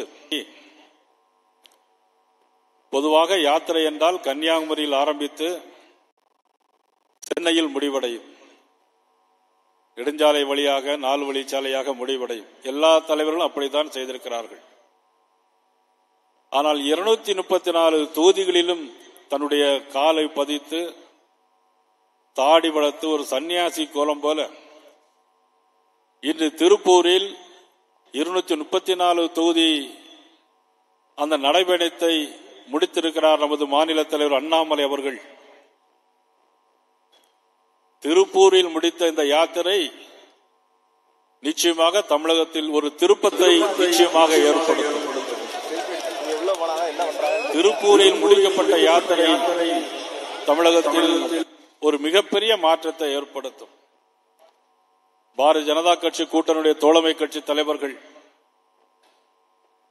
மூத்த தலைவர்கள் சட்டமன்ற உறுப்பினர்கள் புதிதாக கட்சியில் இணைக்கப்பட்டவர்கள் ஐந்து லட்சத்திற்கும் மேலாக இன்றைக்கு கொளுத்தும் வெயிலையும் கூட கட்டுப்படுத்தாமல் பொருட்படுத்தாமல் தான் சார்ந்த இயக்கத்திற்கு எதையும் எதிர்பாராமல் கொடுக்கின்ற பொறுப்புகளை எல்லாம் சிறமையற்கொண்டு இன்றைக்கு லட்சக்கணக்கான பேர் இந்த அரங்கில் கூடியிருக்கிறீர்கள் என்று சொன்னால் உங்களுடைய தியாகத்தினால் தான் இந்த மேடையே உயர்ந்திருக்கிறது. ஒவ்வொரு காவிப்படை தொண்டனுடைய தியாகத்தால் தான் இன்றைக்கு தமிழகமே மிகப்பெரிய மறுமலர்ச்சியை ஏற்படுத்தப் போகிறது. உலகத்தின் மிகப்பெரிய ராஜரிசி உலகத்தில் இருக்கின்ற தலைவர்களில் மிகச்சிறந்த தலைவர்கள் எல்லா தலைவர்களும் போற்றுகின்ற ஒரே தலைவர் இந்திய திருநாட்டின் இரும்பு மனிதர் மாமனிதர் ராஜரிசி மிகப்பெரிய சித்தர் வாழுகின்ற மிகப்பெரிய நமதுக்கெல்லாம் தெய்வமாக விளங்கிக் கொண்டிருக்கின்ற நமது பாரத பிரதமர் அவர்கள் இன்றைக்கு இந்த நிறைவு விழா நிகழ்ச்சியில் திருப்பத்தை ஏற்படுகின்ற திருப்பூரில் இன்றைக்கு நிறைவு விழா நிகழ்ச்சியில் நமக்கெல்லாம் உரையாற்ற இருக்கிறார்கள். அவர்கள் வாழ்கின்ற காலத்தில் நாமும் வாழ்கின்றோம். அவர்கள் இருக்கின்ற நேரத்தில் நாமும் பொறுப்பில் இருக்கின்றோம் நினைத்து பார்க்கின்ற பொழுது உள்ளபடியே மகிழ்ச்சி அடைகிறது. நமக்கெல்லாம் பெருமிதமாக இருக்கிறது. அண்ணன் ஹெச்ஆர் அண்ணன் ராஜா அவர்கள் பேசும்போது இங்க குறிப்பிட்டு பேசினார்கள். தேர் இஸ் நோபடி எகைன்ஸ்ட் மோடின் மோடிக்கு எதிராக நோபடி இன்னைக்கு இந்தியாவில் ராகுல் காங்கிரஸ் கட்சியை சேர்ந்தவர்கள் இன்னைக்கு கூட்டணியை விட்டு விலகி கொண்டே போயிருக்க- போய் கொண்டிருக்கிறார்கள். ஐஎன்டிஏ இந்தியா என்று பெயர் வைத்து இன்னைக்கு யாரும் அந்த கூட்டணியில் சேருவதற்கு கூட முன்வரவில்லை ஆனால் இங்கே தமிழக பாரதிய ஜனதா கட்சி கூட்டணி இன்ற மேடையில் இருக்கின்ற கூட்டணி என்பது இது அசைக்கப்படாத மறுக்கப்படாத உறுதியான கூட்டணியாக இந்த கூட்டணி இருக்கிறது. உங்களை எல்லாம் நம்பித்தான் இந்த கூட்டணி இருக்கிறது. தமிழகத்தில் ஆயிரத்தி தொள்ளாயிரத்தி எழுபத்தி ஏழாம் ஆண்டு ஒரு ஆட்சி மாற்றம். காங்கிரஸ் கட்சி தூக்கி எறியப்பட்டது. அதன் பிறகு ஆயிரத்தி தொள்ளாயிரத்தி எழுபத்தி ஏழாம் ஆண்டு திராவிட முன்னேற்ற கழகம் அரசியலிருந்து தூப்புறப்ப தூக்கி எறியப்பட்டது அப்புறப்படுத்தப்பட்டது. புரட்சித் தலைவர் எம்ஜிஆர் அவர்கள் உயிரோடு இருக்கின்ற காலம் வரையிலும் தமிழகத்தில் கலைஞர் கருணாநிதி ஆட்சிக்கு வரவே முடியவில்லை. அதற்கு பிறகு ஏற்பட்ட ஒரு சூழ்நிலை காரணமாக திராவிட முன்னேற்ற கழகம் ஆட்சியிலே வந்தது. இப்பவும் கடந்த சட்டமன்ற தேர்தலை பொறுத்த மட்டிலும் நமது கூட்டணி சரியாக அமைந்திருக்குமேயானால் ஒரு சில விடுதல்கள் ஒரு சில விடுதல்கள். அந்த விடுதல்கள் மட்டும் சேர்த்திருந்தால் இன்றைக்கு திமுக ஆட்சிக்கே வந்திருக்காது. தொடர்ந்து நமது கூட்டணி வெற்றி பெற்றிருக்கும். ஆனால் எல்லாமே ஒரு காரண காரியத்திற்காகத்தான் நடைபெறும். அண்ணன் பொன்னார் அவர்கள் பேசும்போது சொன்னார்கள் இருபத்தைந்து இடங்களுக்கு மேலாக வெற்றி பெறும் என்று சொன்னார்கள். அவர்கள் மட்டுமல்ல இன்னைக்கு திமுகவுக்கு ஆலோசகராக இருக்கக்கூடிய பிரசாந்த் கிஷோர் பாரதிய ஜனதா கட்சி இன்னைக்கு இருக்கின்ற கூட்டணியில் டபுள் டிஜிட் டபுள் டிஜிட்டில் நிச்சயமாக வெற்றி பெறும் என்று சொல்லியிருக்கிறார். யாருக்கு ஆதரவாக இருக்கும் பேச வேண்டுமோ அவர் இன்னைக்கு நமக்கு ஆதரவாக பேசுகிறார். என்று சொன்னால் மக்கள் மனதில் மிகப்பெரிய மாற்றம் ஏற்பட்டிருக்கிறது. அண்ணாச்சி தாமரை மாநாட்டை மதுரையில் நடத்தினார்கள். சி பி ராதாகிருஷ்ணன் அவர்கள் ஒரு பெரிய பாத யாத்திரை நடத்தினார்கள். என்ற ஜார்க்கண்ட் மாநிலத்தினுடைய கவர்னர். அன்றைக்கு பத்தொன்பது சதவீதம் வாக்குகளை பெற்றிருந்தது ஒரு தேர்தலில். அண்ணன் பொன்னார் மாநில தலைவராக இருக்கின்ற பொழுது ஆனால் இன்னைக்கு பத்திரிகையுடைய கருத்து கணிப்புகள் ஊடகங்கள் என்ன தெரியுமா சொல்கிறது இன்றைக்கு தமிழகத்தில் முப்பது சதவீதம் பாரதிய ஜனதா கட்சி சதவீதம் மக்கள் மத்தியில் இன்னைக்கு போயிருக்கிறது. முப்பது சதவீதம் வாக்குகளை பெறும் என்று சொல்லியிருக்கிறார். அப்படியானால் சராசரியாக ஒரு பாராளுமன்றத்தில் பதினைந்து லட்சம் வாக்குகள் இருக்கிறது. எழுபது சதவீதம் வாக்குகள் என்று சொன்னாலும் அதில் பதினோரு லட்சம் வாக்குகள் பதிவாகும். பதினோரு லட்சம் வாக்குகள் பதிவானால் இன்றைக்கு மும்முனை போட்டி திராவிட முன்னேற்ற கழகம் மற்றும் நம்முடைய கூட்டணி பிறகு அண்ணா திராவிட கழகம் பிறகு நான் தமிழர் கட்சி ஆக இப்படியாக வாக்குகளை பிரித்து பார்க்கின்ற பொழுது நாலு லட்சம் ஓட்டு வாங்கினாலே நிச்சயமா நாம் உறுதியாக வெற்றி பெறுவோம் பாரதிய ஜனதா கட்சி. அப்படியானால் முப்பது சதவீதம் என்று சொன்னால் முப்பது தொகுதிகளையும் தாண்டி பாரதிய ஜனதா கட்சி நிச்சயமாக பாராளுமன்றத்தில் நிச்சயமாக பெரும்பான்மை இடங்களை தமிழகத்தில் பிடிக்கும். பாரத நரேந்திர மோடி அவர்கள் குறிப்பிட்டு பேசியதை போல நானூறு தொகுதிகள் என்று சொன்னால் அதில் நாற்பதில் நிற்பது தமிழகத்தில் இருக்கும் இருக்கும் என்பதை எடுத்து காட்டுகின்ற கூட்டமாக நீங்கள் ஒவ்வொருவரும் சிறப்பான முறையில் பணியாற்ற வேண்டும் வேண்டும் என்று இந்த நேரத்தில் கேட்டுக்கொள்வதோடு பாரதமர் நரேந்திர மோடி அவர்கள் நேற்றைய தினம் பதிமூணாயிரம் கோடி ரூபாய்க்கு தமிழகத்தில் திட்டங்கள் ரயில்வேயில். ஆக ஏழு எட்டு வந்தே பாரத் ரயில்கள் சென்னையிலிருந்தும் திருநெல்வேலியிலிருந்தும் வந்தே பாரத் ரயில்கள் துரித ரயில்கள் எல்லாம் காசிக்கும். காசியிலே தமிழ்ச்சங்கம் குஜராத்திலே தமிழ்ச்சங்கம் பாரத பிரதமர் அவர்கள் அயோத்திக்கு போனாலும் சரி ஐநா சபைக்கு போனாலும் சரி தமிழுக்காக மிகப்பெரிய பெருமையை நிலைநாட்டியவர். அப்படிப்பட்ட மாபெரும் தலைவர் நமது இந்த மண்ணிற்கு இந்த கொங்கு மண்டலத்தில் வருகிறார். கொங்கு மண்டலம் என்று சொன்னால் மரியாதைக்கான பூமி. திருநெல்வேலிக்கு வந்தால் நாங்கள்லாம் செல்லமா ஏலா எப்போ வந்தா அப்படின்னு கூப்பிடுவோம். ஆனால் தொங்கு மண்டலத்துக்கு வந்தா ஏனுங்க எப்பங்க வந்தீங்க? சாப்பிட்டீங்களா? என்ன கண்டு சோமா இருக்கீங்களா இப்படி ஒரு மரியாதைக்கு பா- பெயர் போன ஊர் தான் இந்த கொங்கு மண்டலம்.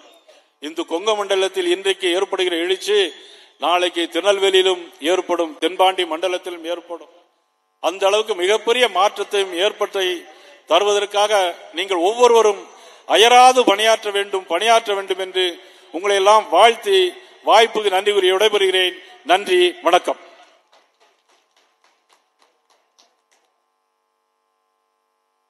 அடுத்ததாக காமராஜர் மக்கள் கட்சியினுடைய மௌன விரதம் இருந்து அதை தொடர்ந்து கடைபிடித்து வந்து கொண்டிருக்கக்கூடிய தலைவர் இன்றைக்கு பத்தாண்டு கால அந்த மௌன விரதத்தை கலைத்து நம்முடைய சொந்தங்களுக்காக நம்மிடையே இங்கே உரையாற்றுவதற்காக வரி தந்திருக்கக்கூடிய சொல்வேந்தர் அன்பிற்கினி அண்ணன் தமிழருவி மணியன் அவர்களை பேச அழைக்கின்றேன்.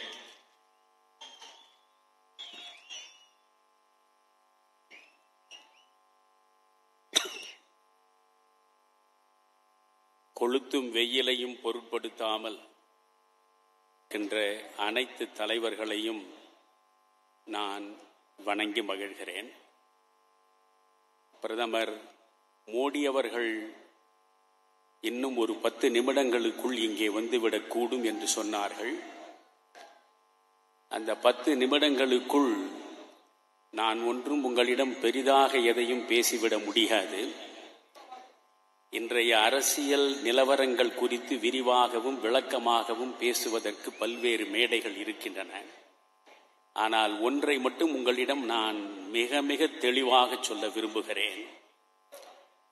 பாரதிய ஜனதா கட்சி என்று ஒன்று தமிழ்நாட்டிலே இருக்கிறதா? பாரதிய ஜனதா கட்சி தேர்தல் களத்தில் நின்றால் நோட்டா அளவுக்கு கூட வாக்குகளை வாங்குமா?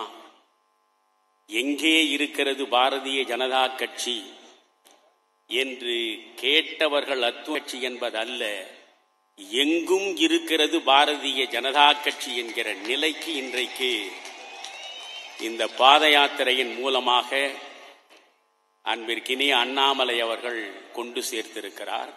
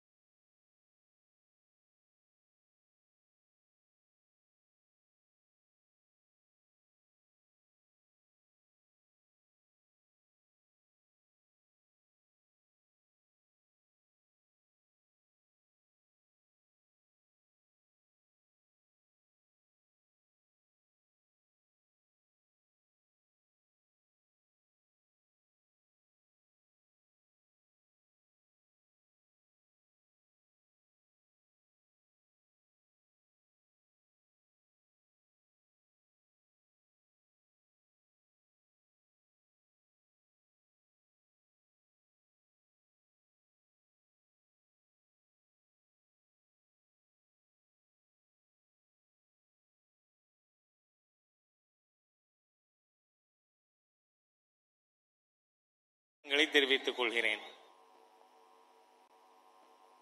ஐம்பத்தி ஏழு ஆண்டு காலம் மாற்றமில்லை இருந்தாலும் உள்ளுக்குள்ளே என்றிருந்த சூழ்நிலையை மாற்றி இன்று ஒரு தேசிய மாற்றாக பாரதிய ஜனதா கட்சி மக்கள் முன்பாக உருவெடுத்திருக்கிறது. நம்முடைய மாநில தலைவர் அருமை சகோதரர் அண்ணாமலை அவர்களுடைய என் மண் என் மக்கள் யாத்திரையினுடைய நிறைவு விழா. இதுவே பாரதிய ஜனதா கட்சி தேசிய ஜனநாயக கூட்டணியினுடைய தேர்தல் பிரச்சாரத்திற்கு அச்சாரமாகவும் இந்த விழா அமைந்திருக்கிறது. நண்பர்களே பொய்யை மூலதனமாக வைத்து கட்சி உருவாக்கிய ஒரு கும்பல்.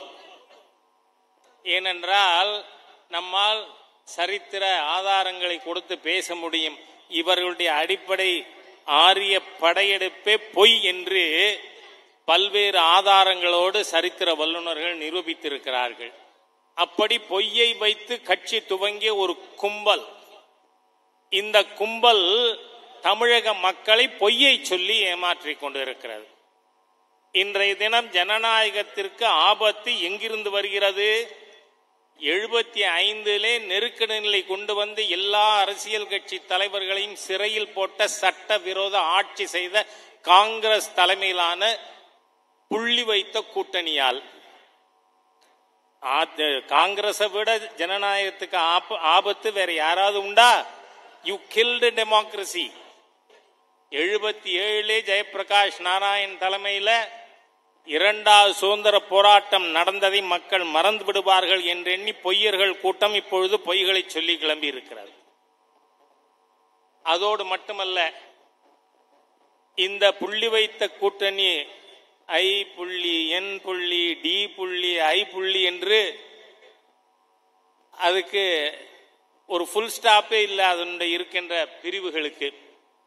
அந்த கூட்டணி முழுவதும் குடும்ப கட்சிகளின் கூட்டணி. தலைமை தாங்குகின்ற காங்கிரஸ் ஜவஹர்லால் நேரு இந்திரா காந்தி ராஜீவ் காந்தி சோனியா ராகுல் பிரியங்கா அப்புறம் பிரியங்காவோட குழந்தை. இந்த மாதிரியாக ஜனநாயகத்திற்கு ஆபத்து குடும்ப ஆட்சி அங்கே அது. ஜம்மு காஷ்மீர்லே ஷேக் அப்துல்லா ஃபருக் அப்துல்லா உமர் அப்துல்லா என்று அங்கும் ஒரு குடும்ப ஆட்சி. அதே மாதிரியாக உத்தரப்பிரதேசத்திலே. உத்தரப்பிரதேசத்திலே முலையாம் சிங் முலையாம் சிங் மகன் அகிலேஷ்.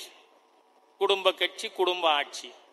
அதே மாதிரியாக பீகாரிலே லல்லு லல்லு பையன் தேஜஸ்வி அதுக்கப்புறம் வரிசையாக அவருக்கு பிறந்த ஒம்பது குழந்தைங்க இருக்கு அரசியல்ல.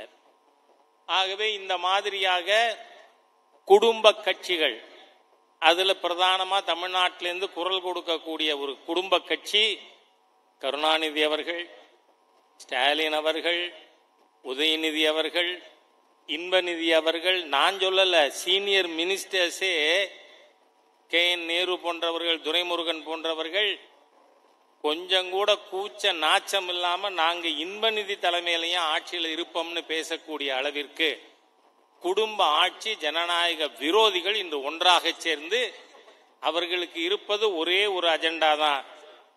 மோடியை நீக்க வேண்டும். ஆனால் இருபத்தி நாலு பாராளுமன்ற தேர்தல் தேர்தல் யுத்தம் யாருக்கு இடையிலே?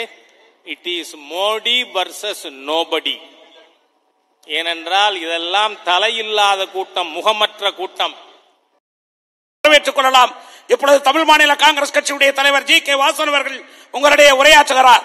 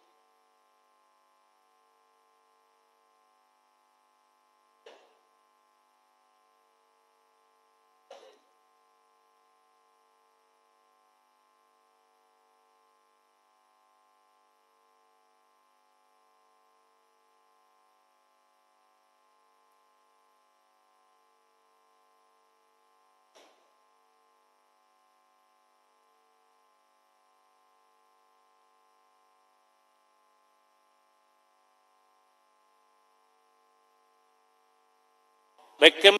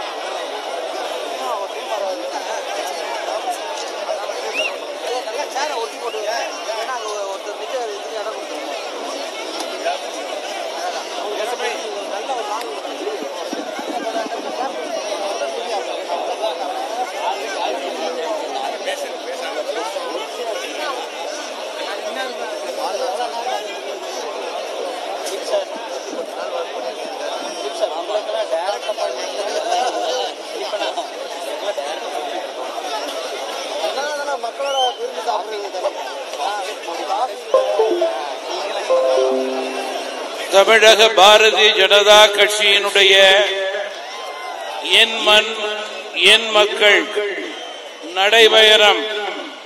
இந்த வெற்றி நடைபயணத்தினுடைய முடிவில் நடைபெறுகின்ற பிரம்மாண்டமான பொதுக்கூட்டத்திலே தமிழ் மாநில காங்கிரஸ் கட்சியின் சார்பிலே கலந்து கொள்வதை மிக பெருமையாகவும் மகிழ்ச்சியாகவும் கருதுகிறேன்.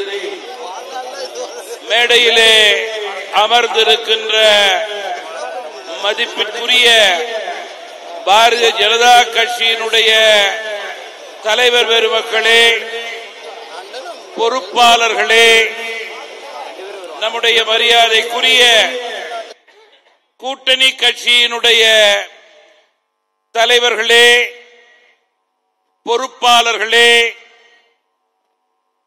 இந்த பொதுக்கூட்டத்திற்கு வரி புரிந்திருக்கிற லட்சக்கணக்கான பாரதிய ஜனதா கட்சியினுடைய தொண்டர்களே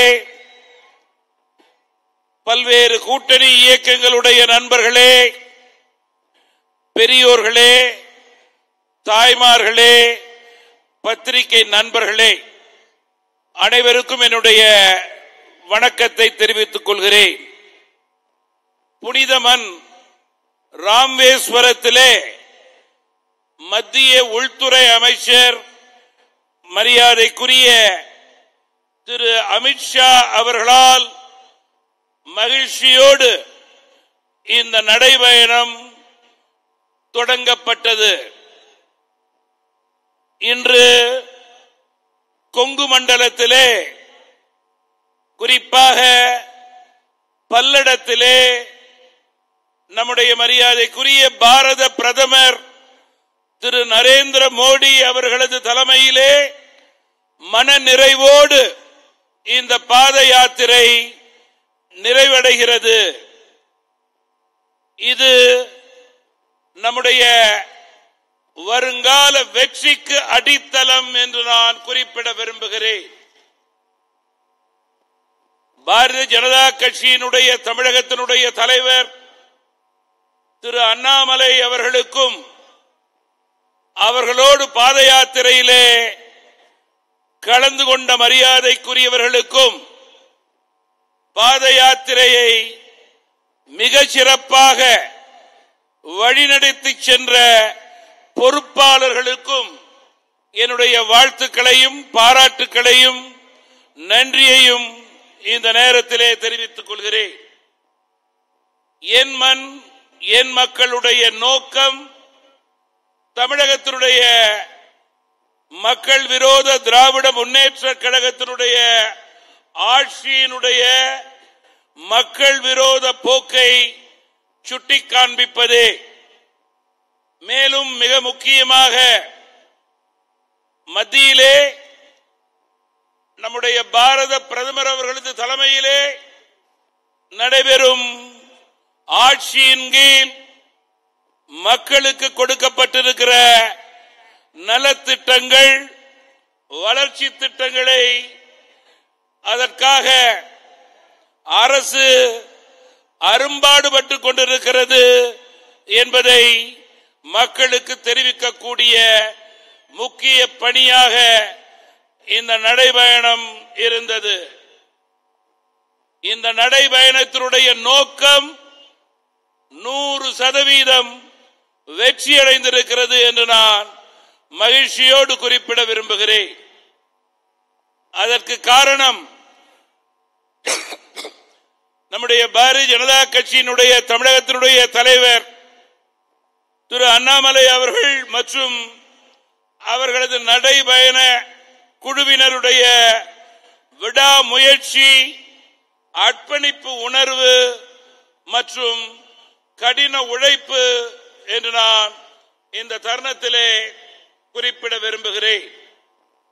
நண்பர்களே இந்த வெற்றி நடைபயணமானது நம்முடைய நாடாளுமன்ற தேர்தலுடைய வெற்றிக்கு அச்சாரமாக இன்று அமைகிறது. பெருந்தலைவர் காமராஜர் மக்கள் தலைவர் மூப்பனார் ஆசியோடு நம்முடைய பாரத பிரதமர் நரேந்திர மோடிஜி அவர்களது தலைமையிலே வளமான தமிழகத்தையும் வலிமையான பாரதத்தையும் ஏற்படுத்தக்கூடிய உன்னத நிலையை நாம் மேற்கொள்வோம் என்று இந்த தருணத்திலே அன்போடு நான் கேட்டுக்கொள்ள விரும்புகிறேன். நண்பர்களே மரியாதைக்குரியவர்களே இன்று நம்முடைய பாரத பிரதமருக்கு எட்டரை கோடி தமிழ் மக்கள் சார்பிலே நன்றி சொல்லக்கூடிய நல்ல நாள் இந்த நாள் என்று நான் கருதுகிறேன். அதற்கு காரணம் நம்முடைய பாரத பிரதமர் அவர்கள் தமிழ் மீது வைத்திருக்கின்ற அன்பு தமிழக மக்கள் மீது வைத்திருக்கின்ற அன்பு நம்முடைய கலாச்சாரத்தின் மீது வைத்திருக்கின்ற அன்பு நம்முடைய கிராம பகுதியின் மீது அதன் உள்ள ஏழை எளிய மக்கள் மீது வைத்திருக்கின்ற அன்பு நம்முடைய சிறுபான்மை மக்கள் எஸ்சி எஸ்டி பிரிவை சேர்ந்த மக்கள் மீது அவர்கள் வைத்திருக்கின்ற அன்பு அவர்களுக்கு அவர்கள் மத்திய அரசிலிருந்து கொடுக்கக்கூடிய உயர்ந்த திட்டங்களை இந்த நேரத்திலே தமிழக மக்கள் சார்பிலே நான் நன்றியோடு நினைத்து பார்க்கிறேன். மேலும் நண்பர்களே குறிப்பாக நம்முடைய பாரத பிரதமர் அவர்கள் மத்திய அரசின் ஆட்சியிலிருந்து கொடுக்கக்கூடிய ஒவ்வொரு திட்டமும் தமிழகத்தில் உள்ள அனைத்து மக்களையும் போய் சேரக்கூடிய உன்னத நிலையை ஏற்படுத்தியிருக்கிறார். குறிப்பாக திருக்குறள் மீதும் செங்கோல் மீதும் அவர்கள் வைத்திருக்கின்ற மரியாதையும் அன்பையும் நான் தெரிவித்து ஒன்றுபடுவோம் செயல்படுவோம். வெற்றி பெறுவோம் என்று கூறி விடைபெறுகிறேன். நன்றி வணக்கம். நன்றி. நமது தேசத்தந்தை பாரத பிரதமர் நரேந்திர மோடி நம்முடைய அரங்கத்திற்குள் நுழைகிறார். அனைவரும் வாழ்த்தொலி எழுப்ப வேண்டும்.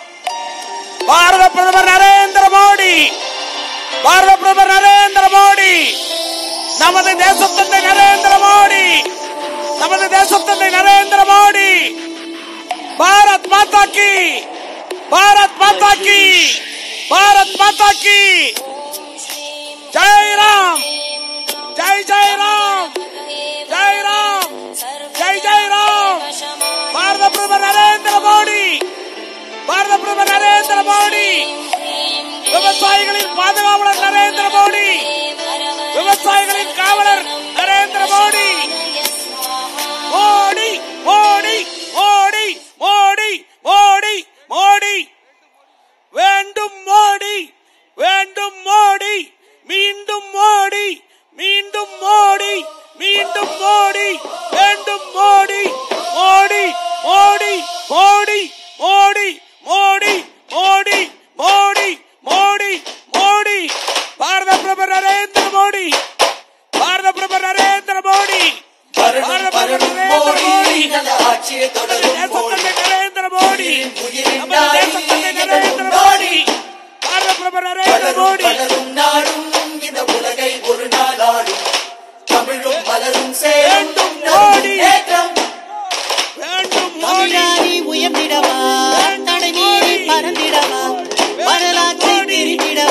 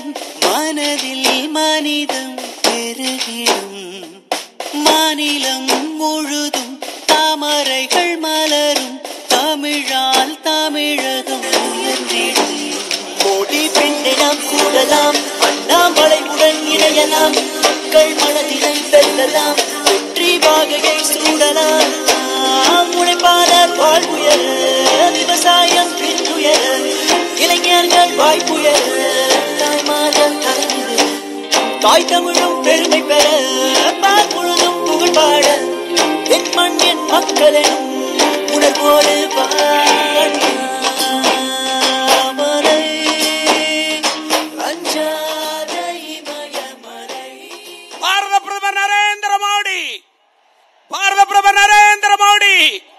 நமது தேசத்தந்தை நரேந்திர மோடி விவசாயிகளின் பாதுகாவலன்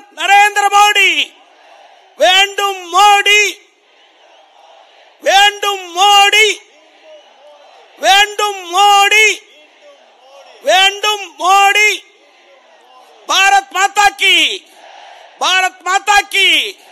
ஜெய் ராம். ஜெய் ஜெய் ஸ்ரீராம். வேண்டும் மோடி. மீண்டும் மோடி. வேண்டும் மோடி. நீங்கள் எழுப்புகிற கோஷம் செஞ்சாச்சி கோட்டையிலே அமர்ந்திருக்கிறவர்களுடைய அகம்பாக முடித்தவர்கள் நடுநடுங்க வேண்டும். அப்படி உங்களுடைய குரல் எழுப்ப வேண்டும். வேண்டும் மோடி. வேண்டும் மோடி. வேண்டும் மோடி. வேண்டும் மோடி. வேண்டும் மோடி. வேண்டும் மோடி. வேண்டும் மோடி. வெல்லட்டும் வெல்லட்டும். தாமரை வெல்லட்டும். வெல்லட்டும் வெல்லட்டும். வெல்லட்டும் வெல்லட்டும். வெல்லட்டும் வெல்லட்டும். வெல்லட்டும் வெல்லட்டும். வேண்டும் மோடி. வேண்டும் மோடி. வேண்டும் மோடி. வேண்டும் மோடி. வேண்டும் மோடி.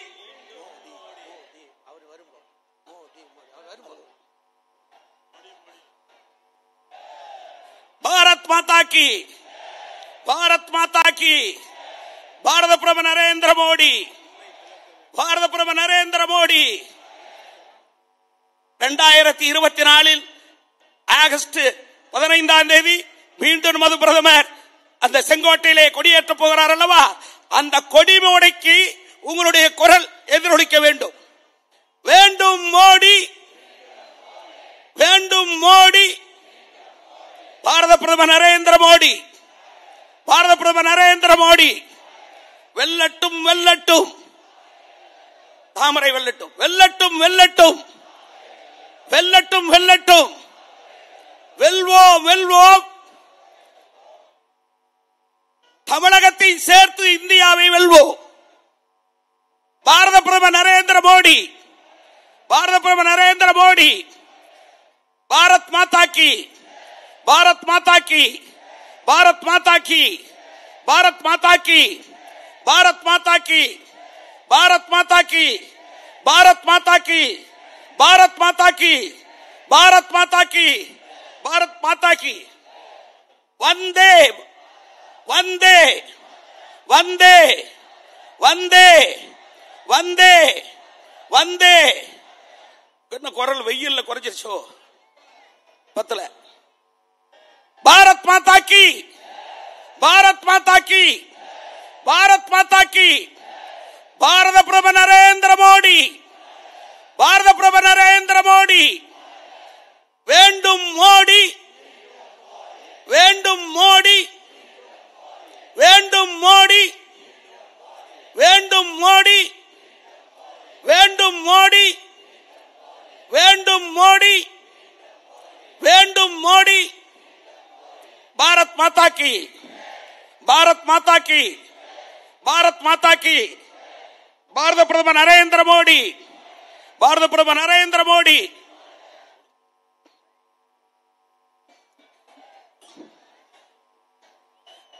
भारत माता की। भारत माता की। भारत माता की। भारत माता की। थोड़ा सा। அனைவருக்கும் வணக்கம். பாரத் மாதா கி. பாரத் மாதா கி. தாமரை ஆட்சி நிச்சயம். மோடிஜி சேவையே லட்சியம். பாரத் மாதா கி. மீண்டும் மோடி. மீண்டும் மோடி. வந்தே. வந்தே. பாரதிய ஜனதா கட்சி. பாரதிய ஜனதா கட்சி. एनडीए एलियंसेस जिंदाबाद फिर एक बार मोदी सरकार फिर एक बार मोदी सरकार फिर एक बार फिर एक बार தாமரை ஆட்சி நிச்சயம் தாமரை தாமரை பாரதிய ஜனதா கட்சி சேவையே லட்சியம் பாரதிய ஜனதா கட்சி சேவையே சேவையே பாரத் மாதா கி மோடி மோடி மோடி மோடி மோடி மோடி மோடி மோடி மோடி மோடி மோடி மோடி மோடி மோடி பாரத் மாதா கி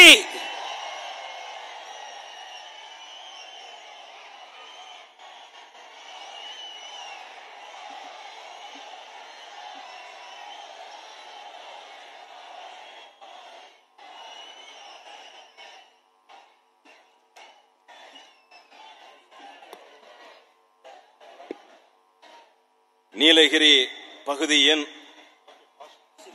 மலைவாழ் மக்களினுடைய பாரம்பரிய அடையாளமாக கையினால் நெசவு செய்யப்பட்ட துண்டை மத்திய இணையமைச்சர் அன்பிற்கினிய அண்ணன் டாக்டர் எல் முருகன் அவர்கள் நம்முடைய பெருமை மிகு பிரதமர் திரு நரேந்திர மோடிஜி அவர்களுக்கு அன்பளிப்பாக வழங்குவார்கள்.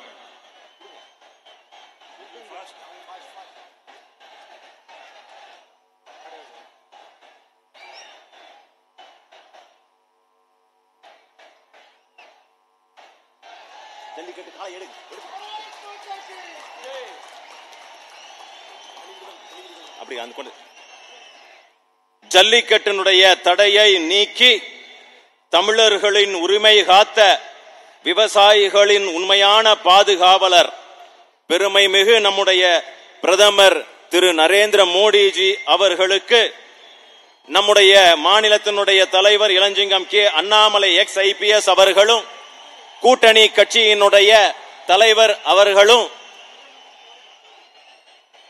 நினைவு பரிசை வழங்குவார்கள். அடுத்ததாக நமது கொங்கு பகுதிக்கு மஞ்சள் புவிசார் குறியீடு பெற்று தந்த நம்முடைய பெருமைமிகு பிரதமர் நரேந்திர மோடிஜி அவர்களுக்கு நன்றி தெரிவிக்கின்ற வகையில யாத்திரையினுடைய ஒருங்கிணைப்பாளரும் இணைய ஒருங்கிணைப்பாளர்களும் அதனுடன் சேர்த்து சொல்லேர் உழவன் ஐயா செல்லமுத்து அவர்களும் நம்முடைய கூட்டணி கட்சியினுடைய தலைவர்களும் விவசாய பெருங்குடி மக்களும் அறுபத்தி ஐந்து கிலோ எடை கொண்ட மஞ்சள் மாலையை அணிவிப்பார்கள். அடுத்ததாக வரவேற்புரை நல்குவதற்காக வரவேற்புரை நல்குவதற்காக மத்திய இணையமைச்சர் அன்பிற்கினிய அண்ணன் டாக்டர் எல் முருகன் அவர்களை பேச அழைக்கின்றோம்.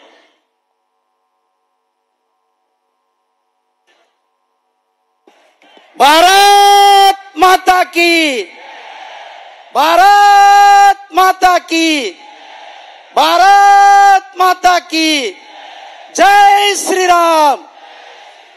ஜெய் ஸ்ரீராம்.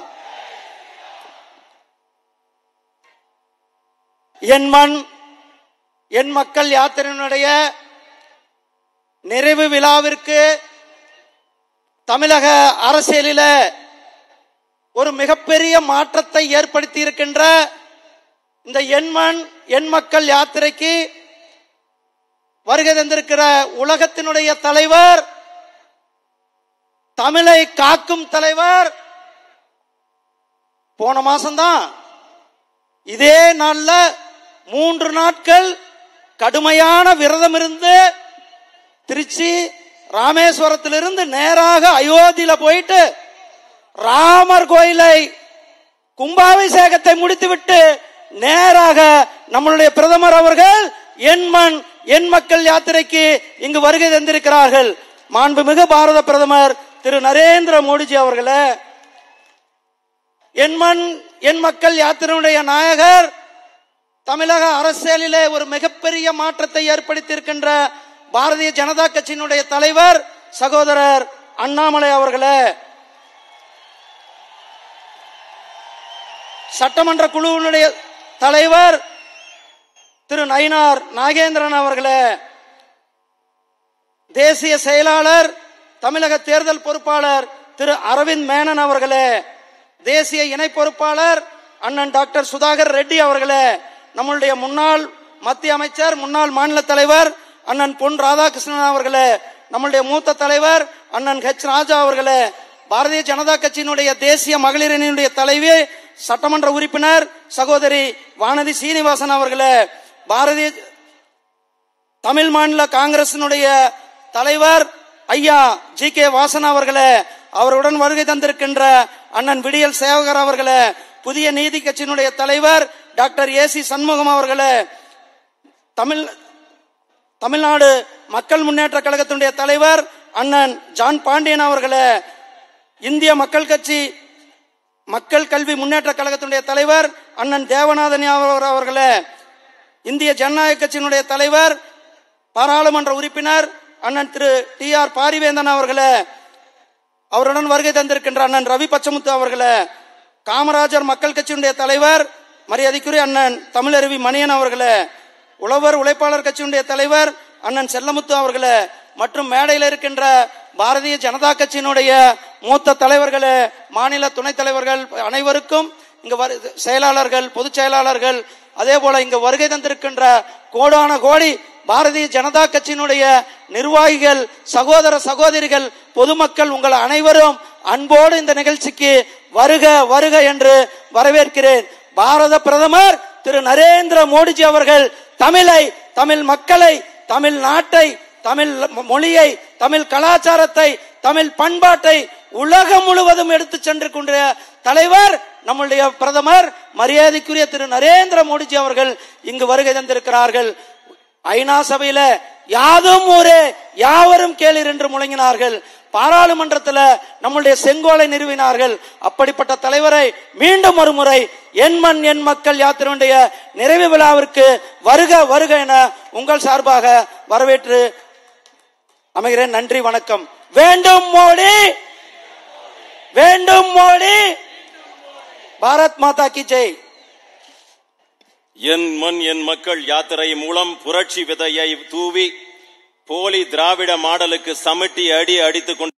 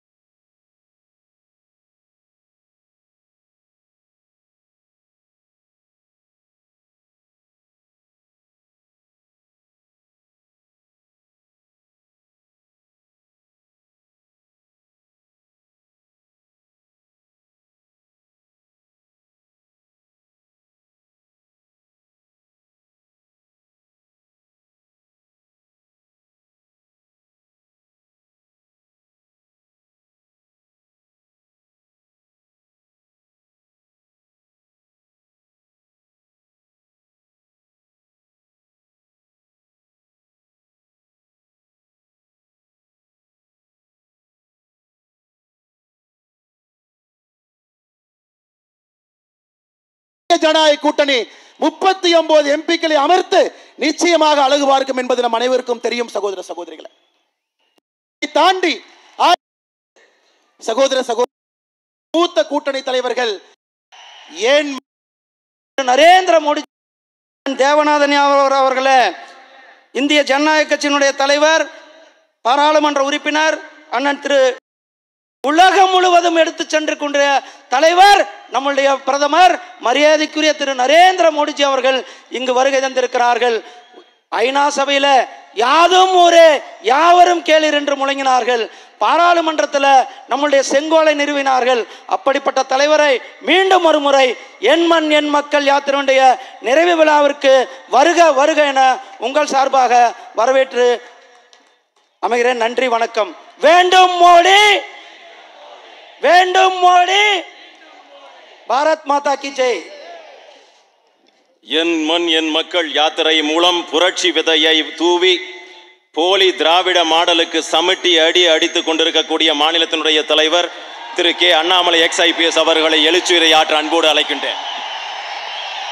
அன்பார்ந்த பெரியவர்களே தாய்மார்களே நம்முடைய பாரதிய ஜனதா கட்சியினுடைய ஏன் மண் ஏன் மக்கள் யாத்திரையினுடைய நிறைவு விழா இருநூத்தி முப்பத்தி நான்கு தொகுதிகளை தாண்டி நம்மை எல்லாம் ஆசீர்வாதம் செய்வதற்காக நம் மீது அன்பு மழை பொழிவதற்காக நமக்காக வந்திருக்கக்கூடிய பாரத பிரதமர் ஐயா நரேந்திர மோடி அவர்களை வரவேற்று மேடையின் மீது இருக்கக்கூடிய மாண்புமிகு மத்திய அமைச்சர் அண்ணன் முருகன் அவர்கள் உட்பட மேடையில் இருக்கக்கூடிய எல்லா மூத்த கூட்டணி தலைவர்கள் ஐயா ஜி கே வாசன் உட்பட எல்லா தலைவர்களுக்கும் என்னுடைய நன்றி கலந்த வாழ்த்துக்களை வணக்கங்களை தெரிவித்துக் கொள்கின்றேன்.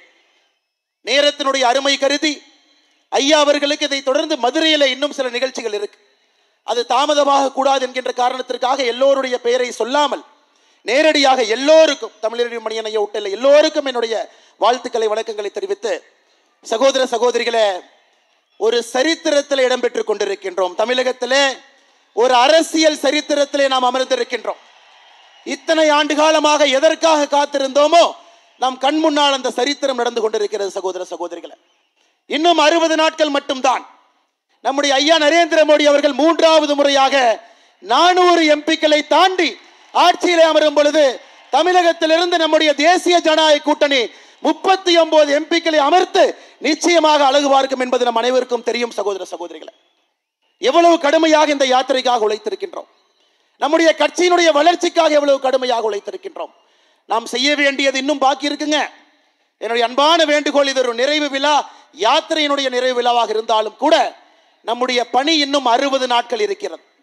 கண் துஞ்சாமல் கடுமையாக உழைத்து பாரதிய ஜனதா கட்சியினுடைய உழைப்பு தேசிய ஜனநாயக கூட்டணியுடைய தலைவர்கள் மேடையின் மீது இருக்கின்றார்கள். எல்லோருடைய உழைப்பையும் ஒட்டு சேர்த்து தமிழகத்திலிருந்து முப்பத்தி ஒன்பது பாராளுமன்ற உறுப்பினர்களை அனுப்பி வைக்கும் வரை நமக்கு ஓய்வு இல்லை சகோதரர்களே ஓய்வு இல்லை சகோதரிகளே. நிச்சயமாக ஓய்வு இல்லை பெரியோர்களே தாய்மார்களே. அதை நீங்கள் செய்து காட்ட வேண்டும். இவ்வளவு பெரிய பிரம்மாண்டமான ஒரு சரித்திர பொதுக்கூட்டத்தில் நாம் இருக்கின்றோம். பத்தாண்டுகள் கழித்து திருப்பி பார்க்கும் பொழுது தமிழகத்தினுடைய மாற்றம் இங்கே நடந்தது. தமிழகத்தினுடைய மாற்றம் பல்லடத்திலே நடந்தது. அந்த மாற்றத்திலே பிரதமர் மோடி அவர்களோடு நானும் இருந்தேன் என்று அந்த சரித்திரத்தில் நிச்சயமாக நாம் இருப்போம் சகோதர சகோதரிகள்.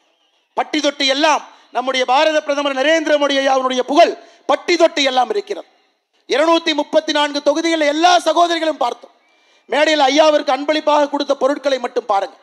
நம்முடைய ஈரோடு பகுதியினுடைய டர்மரிக் மஞ்சள் ஐயா அவருடைய காலத்தில் அதற்காக ஒரு சந்தை ஏற்படுத்தி நிசாமாபாத்தில் நேஷனல் டர்மரிக் போர்டு அதற்காக ஒரு போர்டை உருவாக்கி இன்னைக்கு இந்தியாவில் குறிப்பாக மஞ்சள் ஏற்றுமதிக்கு ஒரு பெரிய விதை விட்டிருக்கின்றார்கள். அதற்காக மஞ்சள் மாலையை பரிசளித்தோம். நீலகிரியில் இருக்கக்கூடிய தோடா ட்ரைபல் நம்முடைய சகோதர சகோதரிகள் பழங்குடியின சகோதர சகோதரிகள் அவர்களுக்கு நிதியுதவி நம்முடைய மத்திய அரசு செய்திருக்கின்றார்கள். அதற்காக அவர்களுடைய ஷால் ஐயாவுக்கு போட்டோம். உங்களுக்கு தெரியும் ஜல்லிக்கட்டு. இன்னைக்கு தமிழகத்தில் இருக்குன்னா ஒரே ஒரு மனிதர் நரேந்திர மோடி அவர்கள் மட்டும்தான் காரணம். வேறு யாரும் கிடையாதுங்க. காங்கிரஸ் ஆட்சி காலத்திலே தடை செய்யப்பட்ட ஜல்லிக்கட்டை மறுபடியும் நமக்கு திருப்பி அளித்த நரேந்திர மோடி ஐயா அவர்களுக்கு ஒரு ஜல்லிக்கட்டு காலை அதை ஐயா அவர்களுக்கு கொடுத்திருக்கின்றோம். இது போல இன்னும் ஆயிரம் பரிசு பொருட்கள் கொடுக்கலாம். தமிழகத்தினுடைய பட்டி தொட்டிக்கு எங்க போனாலும் கூட நம்முடைய ஆட்சியினுடைய சாட்சியாக எல்லா மக்களும் கூட மோடி மோடி மோடி என்று சொல்ல ஆரம்பித்து விட்டார்கள். இந்த முறை தமிழகம் இரண்டாயிரத்தி பதினான்குல பத்தொன்பதுல நாம் செய்த தவறை சகோதர சகோதரிகள் செய்ய போவது கிடையாது. பொய் பரப்புரைகளுக்கு காது கொடுக்க போவது கிடையாது. யார் என்ன சொன்னாலும் கூட நமக்கு தெரியும் இந்த தேர்தல்ல மூன்றாவது முறையாக ஆட்சியில மோடி ஐயா அமரப்போகின்றார்கள் என்று ஒரு சின்ன குழந்தைக்கு கூட தெரியுங்க. தெரியாதவர்கள் இந்தியாவில் தமிழ்நாட்டில் யாரும் இல்லைங்க ஐயா. ஆனா மோடி ஐயா அவர்கள் நானூரை தாண்டி நானூத்தி ஐம்பதற்கு எடுத்து செல்ல வேண்டும் என்றால் தமிழகத்திலிருந்து முப்பத்தி ஒன்பது தொகுதிகள் நம்ம கொடுக்கணுங்க ஐயா. நிச்சயமாக நீங்கள் கொடுப்பீர்கள். இந்த மாநாடு முடிந்து தமிழகம் முழுவதும் நீங்கள் செல்லும் பொழுது அர்ப்பணிப்போடு அடுத்த அறுபது நாட்கள் முழு அர்ப்பணிப்போடு நீங்கள் பாரத பிரதமர் நரேந்திர மோடி அவர்களுக்காக பாடுபட வேண்டும் என்கின்ற ஒரே ஒரு வேண்டுகோளை உங்களுக்கு வைத்து இந்த யாத்திரை ஆறு மாத காலமாக ஆரம்பத்திலிருந்து கடைசி வரை நமக்கு அன்பும் ஆதரவும் கொடுத்த எல்லா தமிழ் மக்களுக்கும் இந்த நேரத்தில் நன்றி கிழந்த வாழ்த்துக்களை வணக்கங்களை தெரிவித்து நிச்சயமாக பாரதிய ஜனதா கட்சி உங்களோடு இருக்கும். நீங்கள் கனவு காண்கின்ற தமிழகத்தை நாங்கள் உருவாக்கி காட்டுகின்றோம் என்கின்ற சத்தியத்தை உங்கள் முன்னால் வைத்து எனக்கு வாய்ப்பு கொடுத்த மேடையில் இருக்கக்கூடிய எல்லா தலைவர்களுக்கும் இந்த நேரத்தில் குறிப்பாக நம்முடைய கூட்டணி தலைவர்கள் எல்லோரும் வந்திருக்கின்றார்கள். அவர்களுக்கு என்னுடைய அன்பான நன்றிகளை வாழ்த்துக்களை வணக்கங்களை தெரிவித்து பாரதிய ஜனதா கட்சியினுடைய மூத்த தலைவர்கள் எல்லோரும் அமர்ந்திருக்கின்றார்கள். அவர்களுக்கும் என்னுடைய நன்றியை தெரிவித்து என்னுடைய உரையை முடித்துக் கொள்கின்றேன். பாரத் மாதா கே! பாரத் மாதா கே! பரதந்தையின் புகழ்! தமிழ் தமிழன் தமிழினத்திற்காக எப்பொழுதும் குரல் கொடுத்து கொண்டிருக்கக்கூடிய தலைவர். எல்லோருடனும் சேர்த்து எல்லோருக்குமான வளர்ச்சி என்ற தாரக மந்திரத்தை தந்து பாரத தேசத்தை உலக அரங்கிலே உயர்த்தி கொண்டிருக்கக்கூடிய பெருமை மிகு நம்முடைய பிரதமர் திரு நரேந்திர மோடிஜி அவர்களை எழுச்சியுரையாட அன்போடு அழைக்கின்றோம். We request honourable prime minister Thiru Narendra Modi ji to address the gathering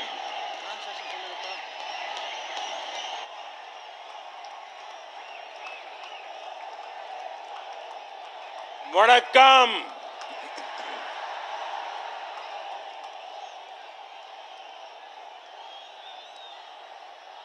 coming to Palladam and being with all of you is a great pleasure.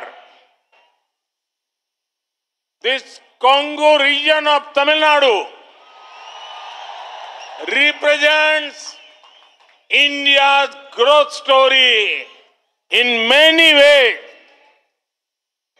It is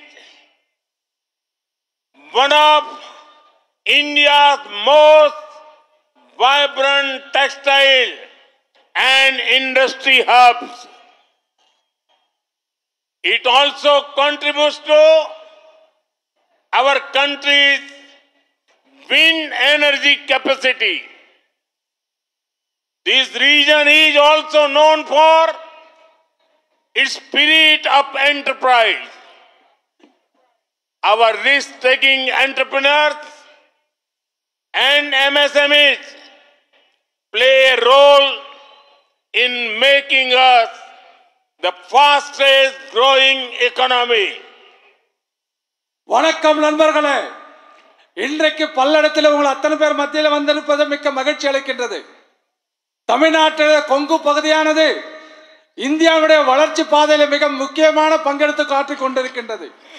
அது மட்டுமல்ல இங்கு மிகவும் ஜவுளி தொழில் மிகவும் துடிப்பான ஒரு தொழிலாக இருந்து கொண்டிருக்கின்றது. அது அது ஒன்று மட்டுமல்ல தொழில்துறை மிகவும் வளர்ச்சி பெற்ற ஒரு பகுதியாக இந்த பகுதி இருந்து கொண்டிருக்கின்றது. காற்றாலை மின்சார உற்பத்தியில் இந்த பகுதி மிகப்பெரிய பங்காற்றி வந்து கொண்டிருக்கின்றது. அதே போல இந்த பகுதியானது தொழில் முனைவோருக்கு மிகவும் உறுதுணையாக நின்று தொழில் முனைவோர் மிகப்பெரியதொரு ரிஸ்க் எடுத்து இந்த பகுதியிலே தொழில் முறையை செய்து கொண்டிருக்கிறார்கள் ஆகவே இந்த நாட்டுடைய வளர்ச்சியில் இந்த நாட்டுடைய பொருளாதாரத்திலே இந்த பகுதி கொங்கு பகுதி மிக பெரிய பங்கை ஆற்றிக் கொண்டு வந்து கொண்டிருக்கிறது आज जहां भी मेरी नजर पहुंच रही है लोग ही लोग नजर आ रहे हैं ऐसा लग रहा है जैसे मानो केसरिया समंदर, इतना बड़ा विराट,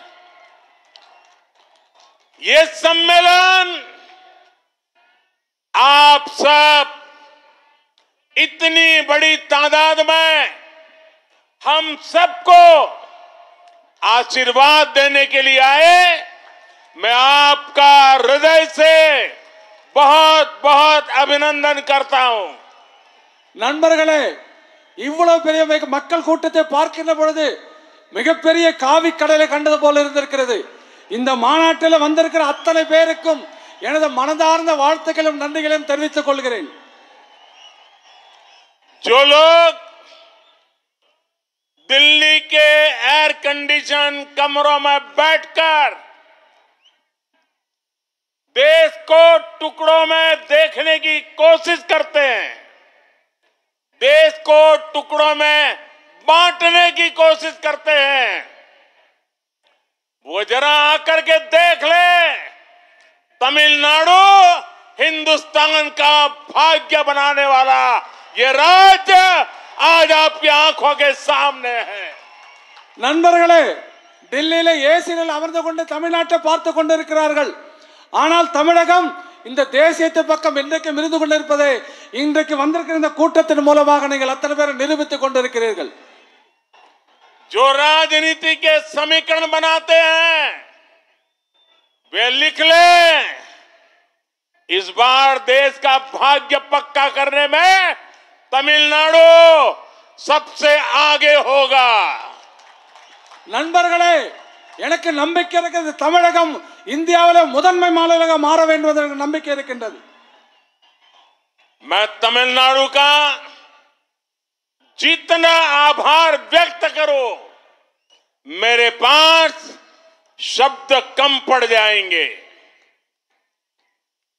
நண்பர்களே எனக்கு தமிழகத்தில் ஒரு ஐந்து விஷயங்களோடு சொல்வதில் எனக்கு மகிழ்ச்சி பெருமை கொள்ளுகிறேன் साथियों 2024 में आज तमिलनाडु की सबसे ज़्यादा चर्चा हो रही है, क्योंकि तमिलनाडु देश में विकास की राजनीति का, नई राजनीति का सबसे नया वाइब्रेंट सेंटर बनने जा रहा है।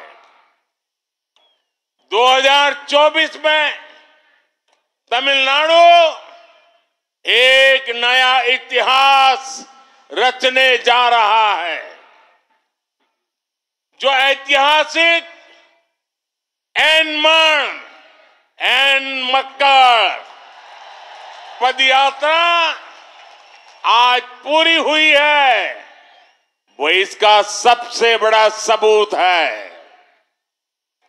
मेरे तमिल भाई बहनों ने एन मण एन मक्कड़ यात्रा को जो समर्थन दिया है वो अभूतपूर्व है நண்பர்களே இரண்டாயிரத்தி இருபத்தி நான்காம் ஆண்டு தமிழகத்தில் அதிகமாக பேசப்படுகின்றது பாரதிய ஜனதா கட்சி குறித்து மட்டும்தான் தமிழகம் இன்றைக்கு நாட்டினுடைய புதிய அரசியல் வளர்ச்சியிலே புதியதொரு மையமாக இன்றைக்கு மாறிக்கொண்டிருக்கின்றது அது மட்டுமல்ல தமிழ்நாடு வருகின்ற இரண்டாயிரத்தி இருபத்தி நான்காம் ஆண்டு ஒரு புதிய சரித்திரத்தை படக்க இருக்கின்றது. அதற்கு முன்னோடியாக இன்றைக்கு இந்த வரலாற்று சிறப்புமிக்க எண்மண் நெண்மக்கள் என்ற யாத்திரை வெற்றிகரமாக இன்றைக்கு உங்கள் முன்னாடி முடித்து வந்து நின்று இருப்பது மிகப்பெரிய சான்றாக இருந்து கொண்டிருக்கிறது.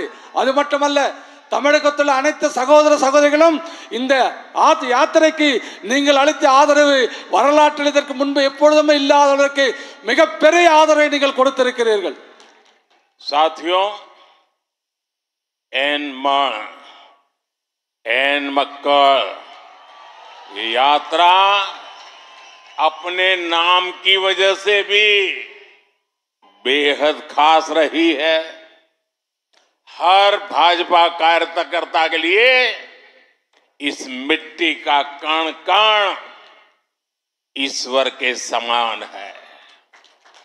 हर भाजपा कार्यकर्ता नेशन फ़र्स्ट के संकल्प के साथ समाज की सेवा में जुटा है।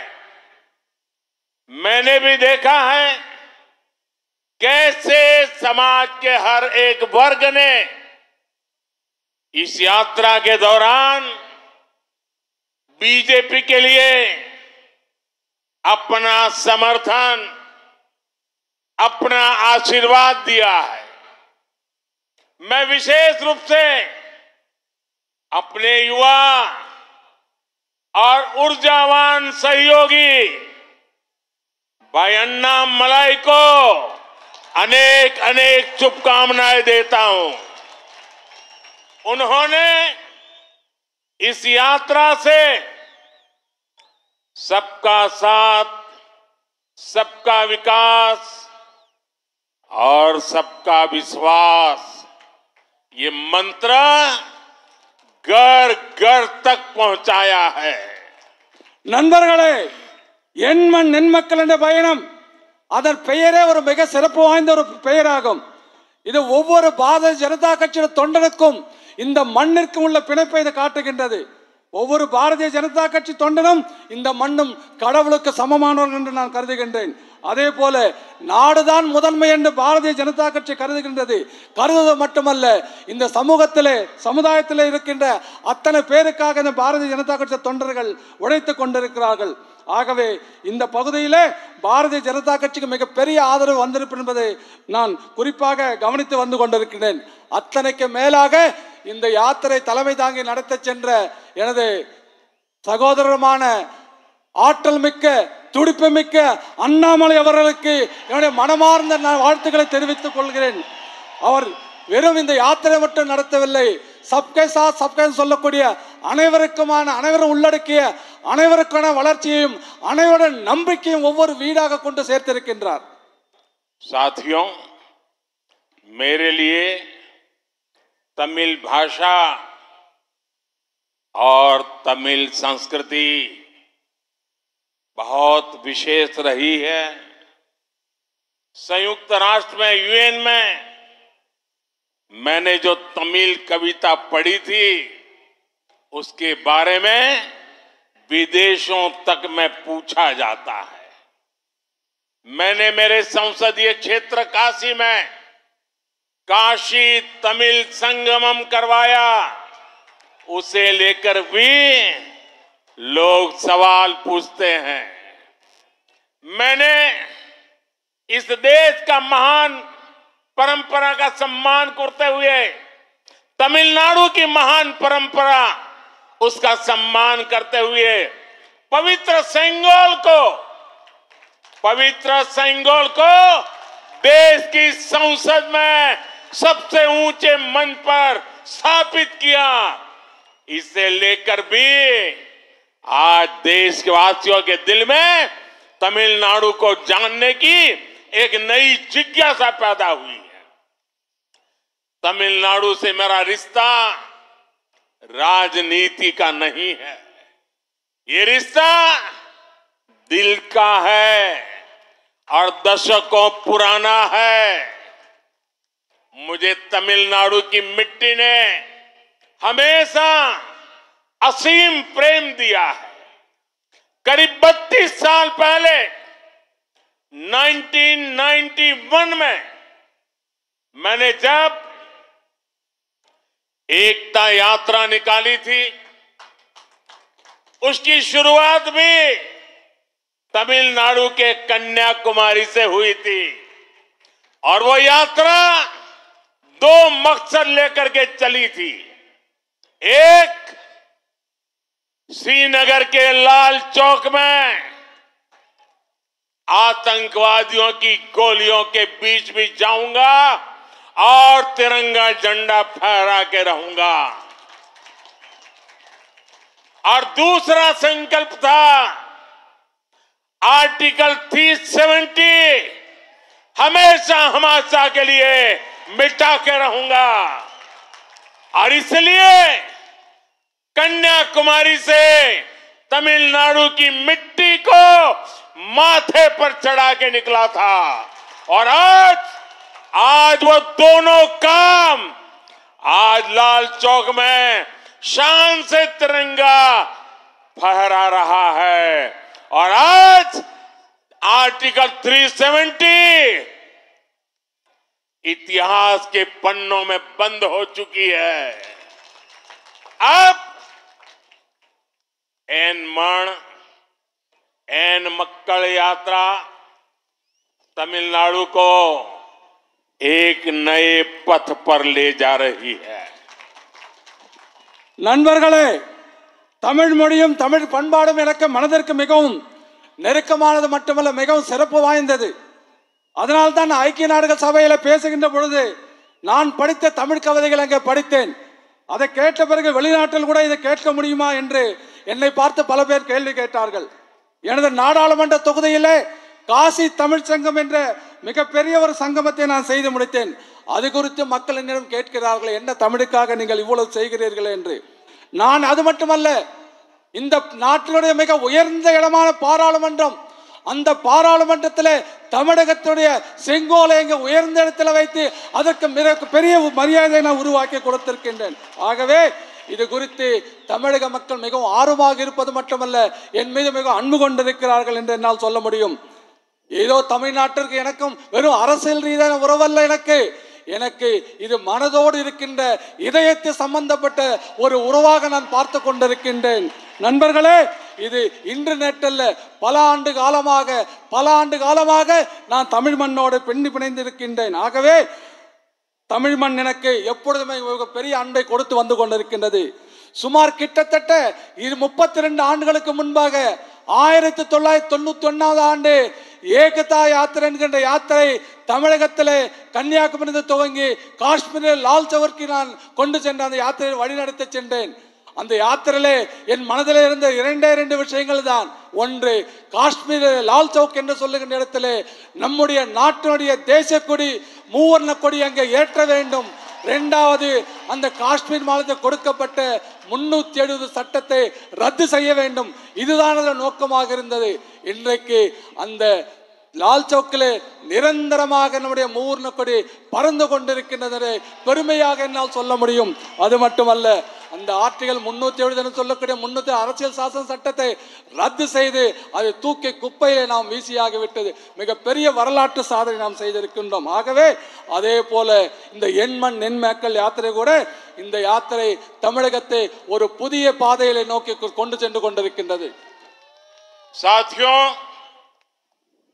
बीजेपी तमिलनाडु में भले ही कभी सत्ता में न रही हो, लेकिन तमिलनाडु हमेशा बीजेपी के दिल में रहा है।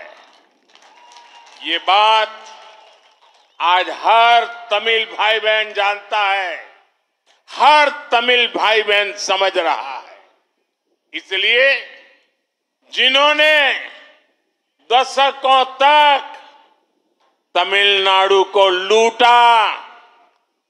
वो लोग बीजेपी की बढ़ती ताकत से घबराए हुए हैं। वे लोग झूठ बोलकर जनता को आपस में बांटकर, लोगों को लड़वाकर अपनी कुर्सी बचाना चाहते हैं। लेकिन तमिलनाडु के लोग दिल से जितने पवित्र होते हैं, उतने ही समझदार भी होते हैं। इनकी सच्चाई सामने आ चुकी है। इनकी पोल खुल चुकी है। इसलिए अब तमिलनाडु के लोग बीजेपी पर भरोसा जता रहे हैं ये नजारा कह रहा है நண்பர்களே தமிழ்நாட்டில் பாரதிய ஜனதா கட்சி என்றைக்கு ஆட்சியில் இருந்ததில்லை ஆனால் தமிழ்நாடு பாரதிய ஜனதா கட்சியுடைய இதயத்தில் எப்பொழுதுமே இருந்து கொண்டிருக்கின்றது சகோதரர்களே இதை ஒவ்வொரு தமிழ்நாட்டிற்குடைய ஒவ்வொரு சகோதரனுக்கும் தமிழ்நாட்டில் இருக்கக்கூடிய ஒவ்வொரு சகோதரிக்கும் நன்றாக தெரியும். நன்றாக புரிந்து கொண்டிருக்கிறார்கள். ஆகவே தான் இந்த விஷயத்தை எல்லாம் தெரிந்துவிட பல ஆண்டு காலமாக இந்த தமிழகத்தை கொள்ளையடித்துக் கொண்டிருந்த கொள்ளையர்கள் இதை புரிந்து கொண்டு பாரதிய ஜனதா கட்சியோட பலம் பெருகி வருகிறது. இதை எப்படியாவது தடுக்க வேண்டும் என்ற முயற்சியின் காரணமாக மக்களுக்கு பொய்யை சொல்லி மக்களை திசை திருப்பி மக்களுக்குள்ளே சண்டையை மூட்டி தீயை மூட்டி விரோதத்தை செய்து அதன் மூலமாக பொதுமக்களை பிரித்து அவர்களுடைய நாற்காலியை காப்பாற்றிக் கொள்வதற்காக மிகப்பெரிய பொய்களை சொல்லிக் கொண்டிருக்கிறார்கள். ஆனால் ஒரு விஷயம் மறந்துவிடக்கூடாது தமிழகத்திட மக்கள் உள்ளத்தில் தூய்மையானவர்கள் மட்டுமல்ல மிகச்சிறந்த அறிவாளிகள் என்பது நம் அத்தனை பேருக்கும் தெரியும். ஆகவே இவருடைய நாடகம் கபட நாடகம் இப்பொழுது வெளியே வந்துவிட்டது. வெளியே வந்தது மட்டுமல்ல அவர்களுடைய தவறுகள் அவர்கள் செய்த அத்தனை ஊழல்களும் இன்றைக்கு வெளியே வந்து கொண்டிருக்கிறது. அதன் காரணமாகத்தான் தமிழகத்தின் மீது தமிழகத்தில் பாரதிய ஜனதா கட்சியின் மீது மக்களுக்கு மிகப்பெரிய நம்பிக்கை வந்து கொண்டிருக்கின்றது. சாத்தியம் केंद्र में बीजेपी सरकार ने तमिलनाडु के विकास को हमेशा प्राथमिकता दी है। 2004 से 2014 के बीच तमिलनाडु को केंद्र सरकार से टैक्स डिवोल्यूशन की जितनी राशि मिली थी, बीजेपी सरकार ने उसे तीन गुना ज़्यादा राशि तमिलनाडु को दी है। और तब दिल्ली में तमिलनाडु से डीएमके के लोग सरकार में बैठे थे, मलाई खा रहे थे, लेकिन तमिलनाडु का भला करने के लिए कुछ भी नहीं कर पाते थे। पिछले दस साल में बीजेपी सरकार ने तमिलनाडु को विकास के कार्यों के लिए पहले के मुकाबले कई गुना ज़्यादा पैसे दिए हैं। और आप ये भी याद रखिए कि डीएमके और कांग्रेस लंबे समय से एक दूसरे के सहयोगी है। 2004 से 2014 तक डीएमके के लोग कांग्रेस की यूपीए सरकार के बड़े मंत्रालयों में बड़े बड़े मंत्री बनकर के बैठे थे। लेकिन इसके बाद भी इन लोगों ने तमिलनाडु के लोगों के विकास को प्राथमिकता कभी भी नहीं दी। नंबरगढ़ தமிழகத்தில் வளர்ச்சிக்காக மத்திய பாரதிய ஜனதா கட்சி எப்பொழுதுமே தமிழகத்தில் வளர்ச்சிக்கு மிகப்பெரிய முன்னுரிமை கொடுத்து வந்து கொண்டிருக்கின்றது. ஆனால் ஒரு விஷயத்தை நாம் புரிந்து கொள்ள வேண்டும். இரண்டாயிரத்தி நான்காம் ஆண்டு முதல் இரண்டாயிரத்தி பதினான்காம் ஆண்டு வரை மத்திய அரசாங்கத்தில் தமிழகத்திற்கு அதாவது யூபி அரசாங்கம் காங்கிரசும் திமுகவும் கூட்டணி இருந்தபோது அரசாங்கம் எவ்வளவு இங்க தமிழகத்திற்கு கொடுத்ததோ அதைவிட நம்முடைய அரசாங்கம் கடந்த பத்தாண்டுகளிலே மூன்று மடங்கு அதிகமாக பணத்தை வளர்ச்சிக்காக தமிழக வளர்ச்சிக்காக நாம் கொடுத்திருக்கின்றது புரிந்து கொள்ள முடியாது. ஆகவே அது மட்டுமல்ல வளர்ச்சி பணி பணிகளுக்காக என்னவெல்லாம் தேவை அத்தனையும் மத்திய அரசாங்கம் செய்து கொண்டிருக்கின்றது. ஆனால் திராவிட முன்னேற்ற கழகமும் காங்கிரஸ் கட்சியும் எத்தனையோ ஆண்டு காலமாக ரொம்ப காலம் ரொம்ப நண்பர்களாக இருந்து கொண்டிருக்கிறார்கள். கடந்த ஆட்சியிலே ரெண்டாயிரத்தி நாலு முதல் பதினான்கு வரை மிகப்பெரிய மந்திரி சபையில் மிகப்பெரிய முக்கியமான பதவிகளை வைத்திருந்தார்கள் ஆனால் அவர்கள் தமிழ்நாட்டு வளர்ச்சிக்காக எந்த ஒரு திட்டத்தை மட்டும் முன்னெடுக்கவில்லை மட்டுமல்ல அதற்காக தமிழகத்திலே வளர்ச்சியிலே எந்த ஒரு பங்கும் அவர்களுக்கு இல்லை என்பதை என்னால் தெளிவாக சொல்ல முடியும் साथियों मोदी जब काम करता है तो सबके लिए करता है और इसमें भी सबसे गरीब सबसे ऊपर रहते हैं। इसलिए आज भारत के हर गरीब के पास मोदी ने गारंटी। तमिलनाडु में मोदी इन गारंटी का अर्थ है साढ़े तीन करोड़ लोगों को मुफ़्त अनाज मोदी, इन गारंटी का मतलब है, तमिलनाडु की 40 लाख से अधिक महिलाओं को धुएँ से आज़ादी, उनके लिए एलपीजी सिलेंडर। मोदी, इन गारंटी का मतलब है, तमिलनाडु के छह लाख से अधिक ग्रामीण परिवारों के लिए पीएम आवास।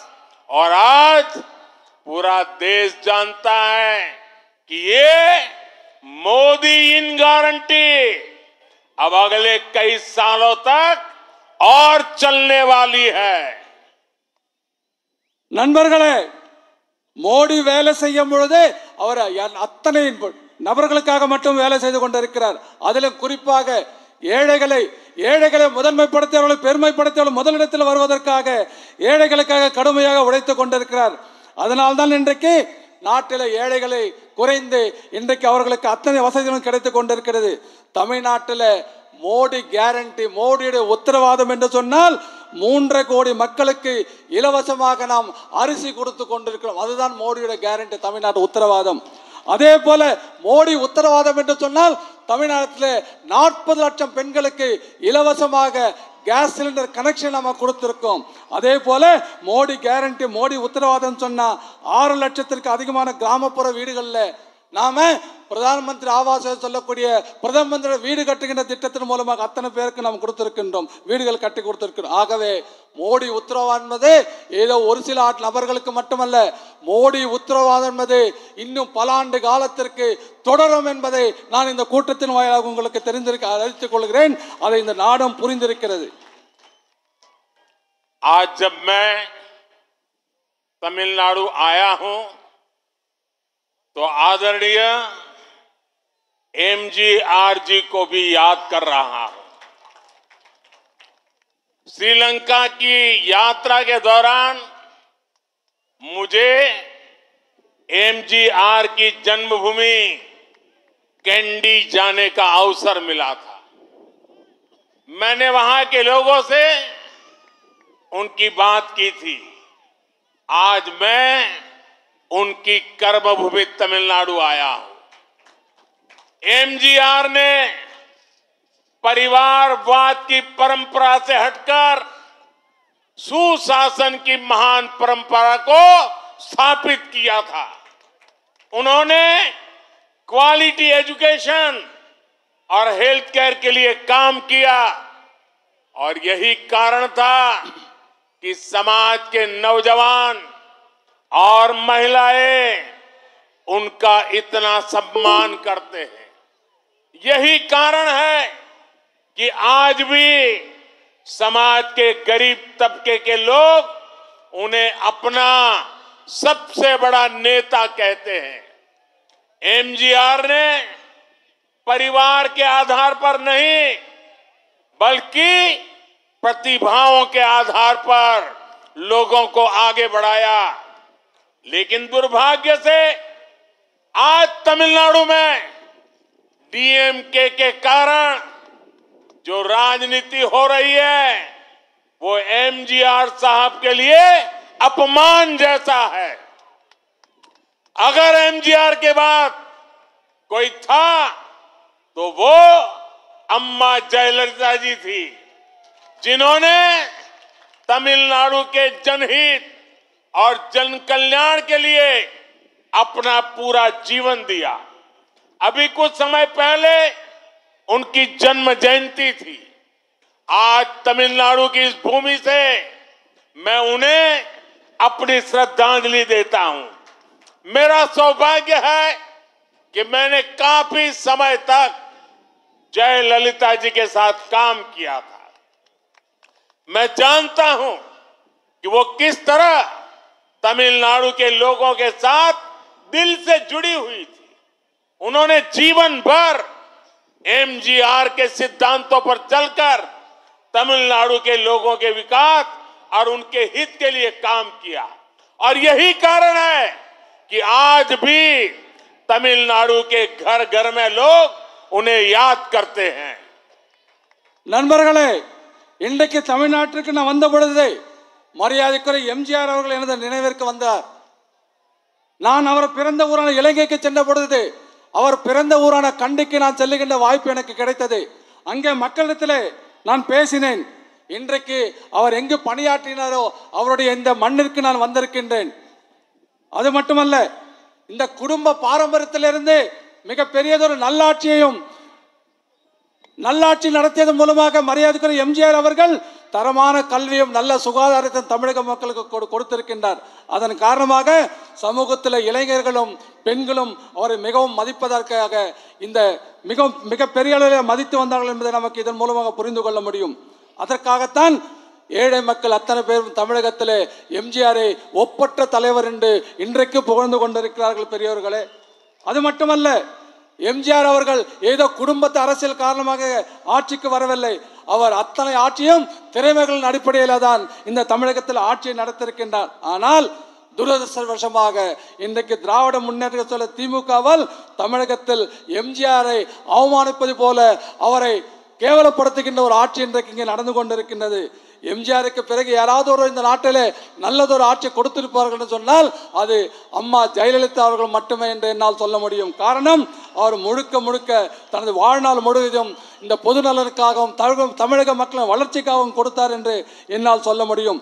சிறிது நாட்களுக்கு முன்பாகத்தான் அவருடைய பிறந்த நாள் கொண்டாடப்பட்டது. ஆகவே இன்றைக்கு தமிழகத்திலிருந்து இந்த மண்ணிலிருந்து அவருக்கு நான் மீண்டும் ஒரு முறை என்னுடைய அஞ்சலியை செலுத்துகின்றேன். இது எனக்கு மிகப்பெரிய மகிழ்ச்சியை கொடுக்கின்றது. அது மட்டுமல்ல ஜெயலலிதா அவர்கள் அவர்களோடு மிக பல்லாண்டு காலம் நான் நெருங்கிய பணியாற்றிய பாக்கியம் எனக்கு கிடைத்திருக்கின்றது. அதே போல தமிழக மக்களோட அவர் எப்படி மக்களோடு தன்னை தொடர்பு படுத்திக் கொண்டு மக்களுக்காக எப்படி வாழ்ந்தார் என்பதை அத்தனை பேரும் நமக்கு நான் அறிவோம். அது மட்டுமல்ல எம்ஜிஆர் கொள்கைகளை கைப்பிடித்து கடைபிடித்து அதன் மூலமாக மக்களின் வளர்ச்சி மற்றும் மக்களின் நலனுக்காக மட்டும் பணியாற்றினார் அதன் காரணமாகத்தான் இன்றைக்கும் தமிழகத்தில் அனைத்து வீடுகளிலும் அவரை நினைவு கூர்ந்து வருவதற்கு இது ஒரு மிகப்பெரிய காரணமாக இருந்து கொண்டிருக்கின்றது साथियों मोदी जब देश के विकास की गारंटी लेता है तो ये भी सुनिश्चित करता है कि तमिलनाडु भी उसी रफ्तार से आगे बढ़े। तमिलनाडु के लोगों ने हमेशा देश को सबसे ऊपर रखा है। इसलिए आज अगर देश में दो डिफेंस कॉरिडोर बनते हैं तो उनमें से एक तमिलनाडु में बनाया जाता है। आज देश जब टेक्सटाइल की फ़ील्ड में संभावनाओं के लिए काम करता है तो तमिलनाडु को उसका भरपूर फायदा मिलता है நண்பர்களே மோடி உத்தரவாதம் என்பது நாட்டின் வளர்ச்சி என்று சொல்லுகின்ற பொழுது அது தமிழகத்தில் வளர்ச்சி சேர்த்து தான் நான் சொல்லு என்னால் சொல்ல முடியும் ஆகவே நாடு எப்படி வளர்கிறதோ அதே வேகத்தில் தமிழகம் வளர வேண்டும் என்பதிலே மோடியுடைய உத்தரவாதம் உங்களுக்கு உறுதி செய்கிறது தமிழக மக்கள் எப்பொழுதுமே இந்த நாட்டை குறித்து மிகப்பெரிய மரியாதையும் மதிப்பும் வைத்திருக்கின்றார்கள்.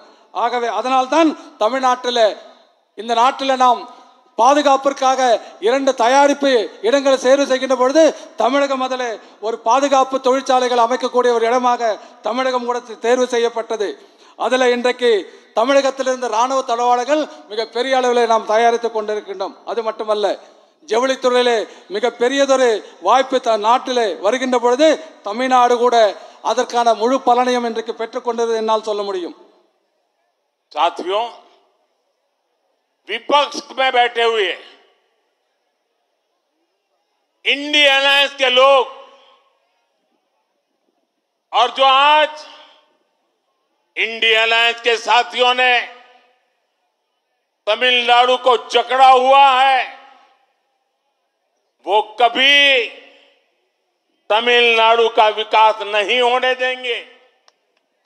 आप पहले का समय याद करिए, जो कांग्रेस डिफेंस के सौदों में हज़ारों करोड़ रुपए की दलाली खाती थी, वो कांग्रेस क्या तमिलनाडु में डिफेंस कॉरिडोर बनने देती? आज डिफेंस सेक्टर में देश जो कई गुना निर्यात कर रहा है, उससे युवाओं को जो रोज़गार मिल रहा है, क्या कांग्रेस कभी ये होने देती क्या? हमने टेक्सटाइल इंडस्ट्री के लिए पीएलआई स्कीम शुरू की। उसका परिणाम है कि बीस हज़ार करोड़ रुपए के निवेश प्रस्ताव आए। दो लाख करोड़ के करीब टर्नओवर इससे होगा। इसके अलावा यहाँ विरुद्धनगर में एक पीएम मित्र टेक्सटाइल पार्क भी बनाया जा रहा है। इससे आने वाले समय में लाखों नौकरियों के अवसर बनने वाले हैं। मुद्रा लोन के ज़रिए भी तमिलनाडु के उद्यमियों को दो लाख करोड़ रुपए से ज़्यादा की फंडिंग दी गई है। आप मुझे बताइए, कांग्रेस सरकार में क्या यह मुमकिन हो सकता था? मोदी तमिलनाडु के विकास के लिए काम कर रहा है। और इसलिए ये इंडिया अलायंस वाली पूरी गैंग मोदी से इतना परेशान है நண்பர்களே இன்று தமிழகத்தில் இந்தியாவிலே கூட்டணி என்ற ஒரு கூட்டணி இருந்து கொண்டிருக்கின்றது இவர்களெல்லாம் தமிழகத்தை எப்பொழுது கைப்பற்ற வேண்டும் தமிழகத்தின் வளர்ச்சியை கைப்பற்றி விட்டால் தமிழகத்தில் வளர்ச்சி ஒருபோதும் வளர்ச்சி இருக்காது என்பதை இதன் மூலமாக சொல்லிக் கொள்கிறேன் வளர்ச்சி வர அனுமதிக்க மாட்டார்கள் நான் ஒரே ஒரு கேள்வி கேட்கிறேன் பாதுகாப்பு ஒப்பந்தங்கள் அதாவது வெளிநாட்டிலிருந்து நம்முடைய ராணுவத்திற்காக வாங்கிய பாதுகாப்பு த- உபகரணங்கள்ல கோடிக்கணக்கான ரூபாய்கள் லஞ்சம் வாங்கிய கமிஷனாக பெற்ற காங்கிரஸ் அரசாங்கம் இதெல்லாம் நம்ம தமிழ்நாட்டில் பாதுகாப்பு டிஃபென்ஸ் காரக்டர் வந்து அனுமதிப்பாங்களா? இதன் மூலமாக லட்சக்கணக்கான இளைஞர்களுக்கு வேலை வாய்ப்பை காங்கிரஸ் இங்கே பெறுவதற்கு அனுமதிக்குமா? நண்பர்கள் நாம் யோசித்து பார்க்க வேண்டும். அது மட்டுமல்ல நாம் பெறுகின்ற இந்த ஜவுளி தொழிலுக்காக பிஎல்ஏ என்ற திட்டத்தின் மூலமாக தமிழகத்திற்கு இருபதாயிரம் கோடி ரூபாய் மதிப்பிலான ஜவுளி பூங்கா திட்டத்தை நாம் நாம் இங்கே கொண்டிருக்கிறோம். அதன் மூலமாக சற்றேறத்தாழ இரண்டு லட்சம் கோடி ரூபாய் இதன் மூலமாக வருவாய் ஈட்டக்கூடிய நிலைமை இன்றைக்கு தமிழகத்தில் உருவாகி கொண்டிருக்கின்றது. அதன் மூலமாக கோடிக்கணக்கான இளைஞர்களுக்கு வருகின்ற காலகட்டத்தில் வேலை வாய்ப்புகள் கிடைக்கும் என்பதை நான் உங்கள் மூலமாக இதன் மூலமாக சொல்லிக் கொள்கிறேன். அதே போல முத்ரா கடன் திட்டத்தின் மூலமாக தமிழகத்தில் தொழில் முனைவோருக்காக இரண்டு லட்சம் கோடிக்கும் அதிகமான நிதி வழங்கப்பட்டுள்ளது.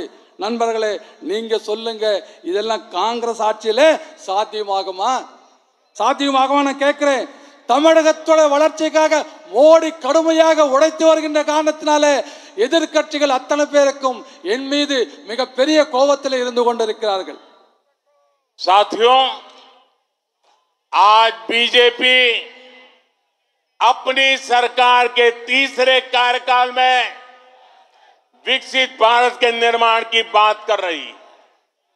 बीजेपी अपने तीसरे कार्यकाल में भारत को तीसरी सबसे बड़ी अर्थव्यवस्था बनाने की बात कह रही है।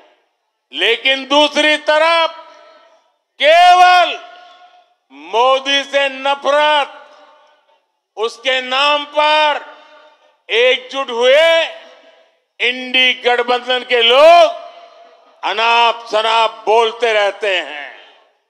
क्या आपने इनके एक भी दल को विकास पर, अर्थव्यवस्था पर, इंडस्ट्री पर, शिक्षा पर, एग्रीकल्चर पर लेबरर्स पर, फिशरमैन पर बात करते सुना है क्या? इन्हें बस एक ही चिंता है कि कैसे इनके परिवार की दुकान चलती रहे।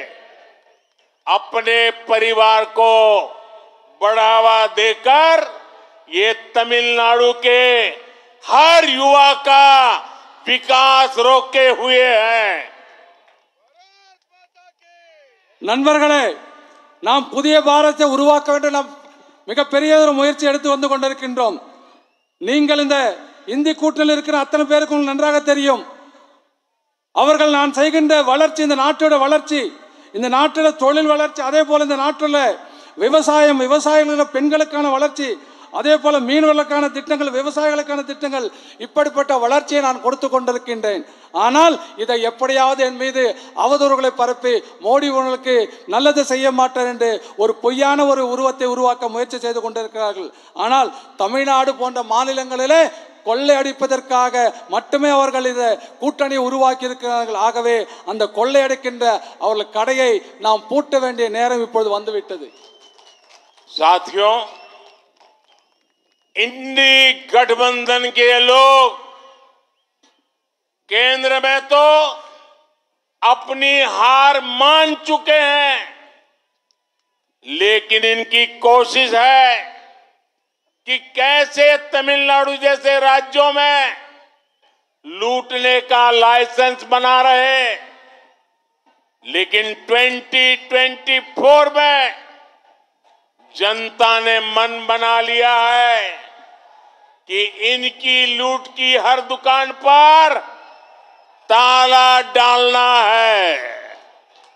तमिलनाडु में एन मन, एन मक्कर यात्रा ने इस ताले का इंतज़ाम कर दिया है। अब तमिलनाडु में भी भाजपा भ्रष्टाचार की राजनीति का अंत करने के लिए तैयार हो रही है। मैं हमारे सभी कार्यकर्ताओं से कहना चाहूँगा, आपको जनता का आशीर्वाद लेकर पूरी ऊर्जा के साथ तमिलनाडु में लोगों की सेवा करनी है। आपको तमिलनाडु के घर घर तक बीजेपी के तीसरे कार्यकाल के संकल्प को पहुंचाना है। जो मैंने यहाँ कहा है, उसे आपको जन जन तक लेकर जाना है। मैं फिर एक बार इस विशाल जन समुदाय को और तमिलनाडु के ये उज्जवल भविष्य की गारंटी लेके आए हैं। ये तमिलनाडु के युवाओं के भाग्य को बदलने की गारंटी मैं देख रहा हूं ये युवा तमिलनाडु के अधिकारों के रक्षा की गारंटी आज मैं देख रहा हूं और मोदी आपकी गारंटी के लिए आपके साथ खड़ा है நண்பர்களே இப்போ மத்தியில இந்தி கூட்டணின்னு உருவாகி இருக்கிறது டெல்லியில எல்லாம் தெரிஞ்சு போச்சு. இந்தி கூட்டணி முடிஞ்சு போச்சு. இது ஜெயிக்காதுன்ற விஷயம் தெரிஞ்சு போச்சு. ஆனால் தமிழகத்தில் மட்டும் எப்படியாவது கொள்ளை அடிக்க என்பதற்காக அந்த கூட்டணி முயற்சி செய்து கொண்டிருக்கின்றது. அதனால தான் அந்த கொ- அந்த கடையை கொள்ளையடிக்கின்ற கடையை பூட்ட வேண்டும் என்று நாம் முயற்சி செய்து கொண்டிருக்கிறோம். ரெண்டாயிரத்தி இருபத்தி நாலில் அந்த கொள்ளையடிக்கின்ற கடையை பூட்ட வேண்டும். அதற்காக தமிழ்நாட்டில் நாம் நடத்திய எண்மண் எண் மக்கள் என்ற யாத்திரை மூலமாக அந்த யாத்திரை இதற்கான பூட்டை நாம் உருவாக்கி இருக்கும் என்பதை இந்த கூட்டத்தின் மூலமாக நான் சொல்லிக் கொள்கிறேன். அது மட்டுமல்ல தமிழகத்தில் ஊழலுக்கு முற்றுப்புள்ளி வைப்பதற்கு தமிழக மக்கள் தயாராகி கொண்டிருக்கிறார் என்பதை உங்களுக்கு இந்த கூட்டத்தில் சொல்லிக் கொள்கிறேன். அதே போல அத்தனை பேரும் நீங்கள் பாரதிய ஜனதா கட்சியின் தொண்டர்கள் நீங்கள் அத்தனை பேரும் மூன்றாவது முறையாக மீண்டும் ஒரு நல்லதொரு ஆட்சி வர வேண்டும் சொன்னால் மக்களிடத்தில் சொல்ல வேண்டும். மக்களிடத்தில் செல்ல வேண்டும் வீடு வீடாக செல்ல வேண்டும். அவர்களிடத்தில் மக்களுடைய அவருடைய ஆசீர்வாதங்களை அவருடைய வாழ்த்துக்களை பெற வேண்டும் வாக்குகளை பெற வேண்டும். மீண்டும் நமக்கு ஆதரவு வர வேண்டும். அது மட்டுமல்ல இளைஞருக்கான உத்தரவாதம் மோடி உத்தரவாதம் இருந்து கொண்டிருக்கிறது. இந்த லட்சக்கணக்கான மக்கள் கூட்டத்தை பார்த்து நான் பெருமையோடு சொல்லுகிறேன். இளைஞருக்கான உத்தரவாதம் மோடியின் உத்தரவாதம் உங்களுக்கு இருந்து கொண்டிருக்கிறது. இளைஞர் அதே போல உங்களுடைய பாதுகாப்பிற்கான உத்தரவாதம் மோடியின் உத்தரவாதம் இருந்து கொண்டிருக்கிறது மாத்திரம் சொல்லிக்கொண்டு நீங்கள் அத்தனை பேரும் மீண்டும் ஒரு முறை பெரிய எண்ணிக்கையில் வந்து நீங்கள் மக்களிடத்தில் சென்று மீண்டும் அவருடைய வாழ்த்துக்களையும் ஆர- அவருடைய ஆதரவையும் பெற வேண்டும் என்று உங்களை கேட்டுக்கொள்கிறேன் दोनों हाथ ऊपर करके मेरे साथ बोलिए भारत माता की जय भारत माता की जय भारत माता की जय भारत माता की जय वंदे மாத்தரம் वंदे மாத்தரம் वंदे மாத்தரம் वंदे மாத்தரம் वंदे மாத்தரம் वंदे மாத்தரம் वंदे மாத்தரம் वंदे மாத்தரம் वंदे மாத்தரம் बहुत बहुत धन्यवाद மோடி மோடி மோடி மோடி மோடி சத்தமா கேள் சொல்லணும் மோடி மோடி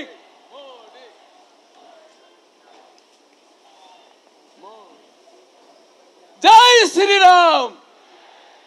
ஜெய் ஸ்ரீராம்! ஜெய் ஜெய் ஸ்ரீராம்! ஜெய் ஜெய் ஸ்ரீராம்! வேண்டும் மோடி! வேண்டும் மோடி! மீண்டும் மோடி! மீண்டும் மோடி! ஜெய் ஜெய் பிஜேபி! ஜெயிக்க போகுது பிஜேபி! जय जय बीजेपी। जय के पगली बीजेपी। वाल्ग वाल्ग वाल्ग में। जय श्री राम भारत माता की। भारत माता की। वंदे। वंदे। वंदे। जय हिंद। जय हिंद। भारत माता की, भारत माता की। जय श्री राम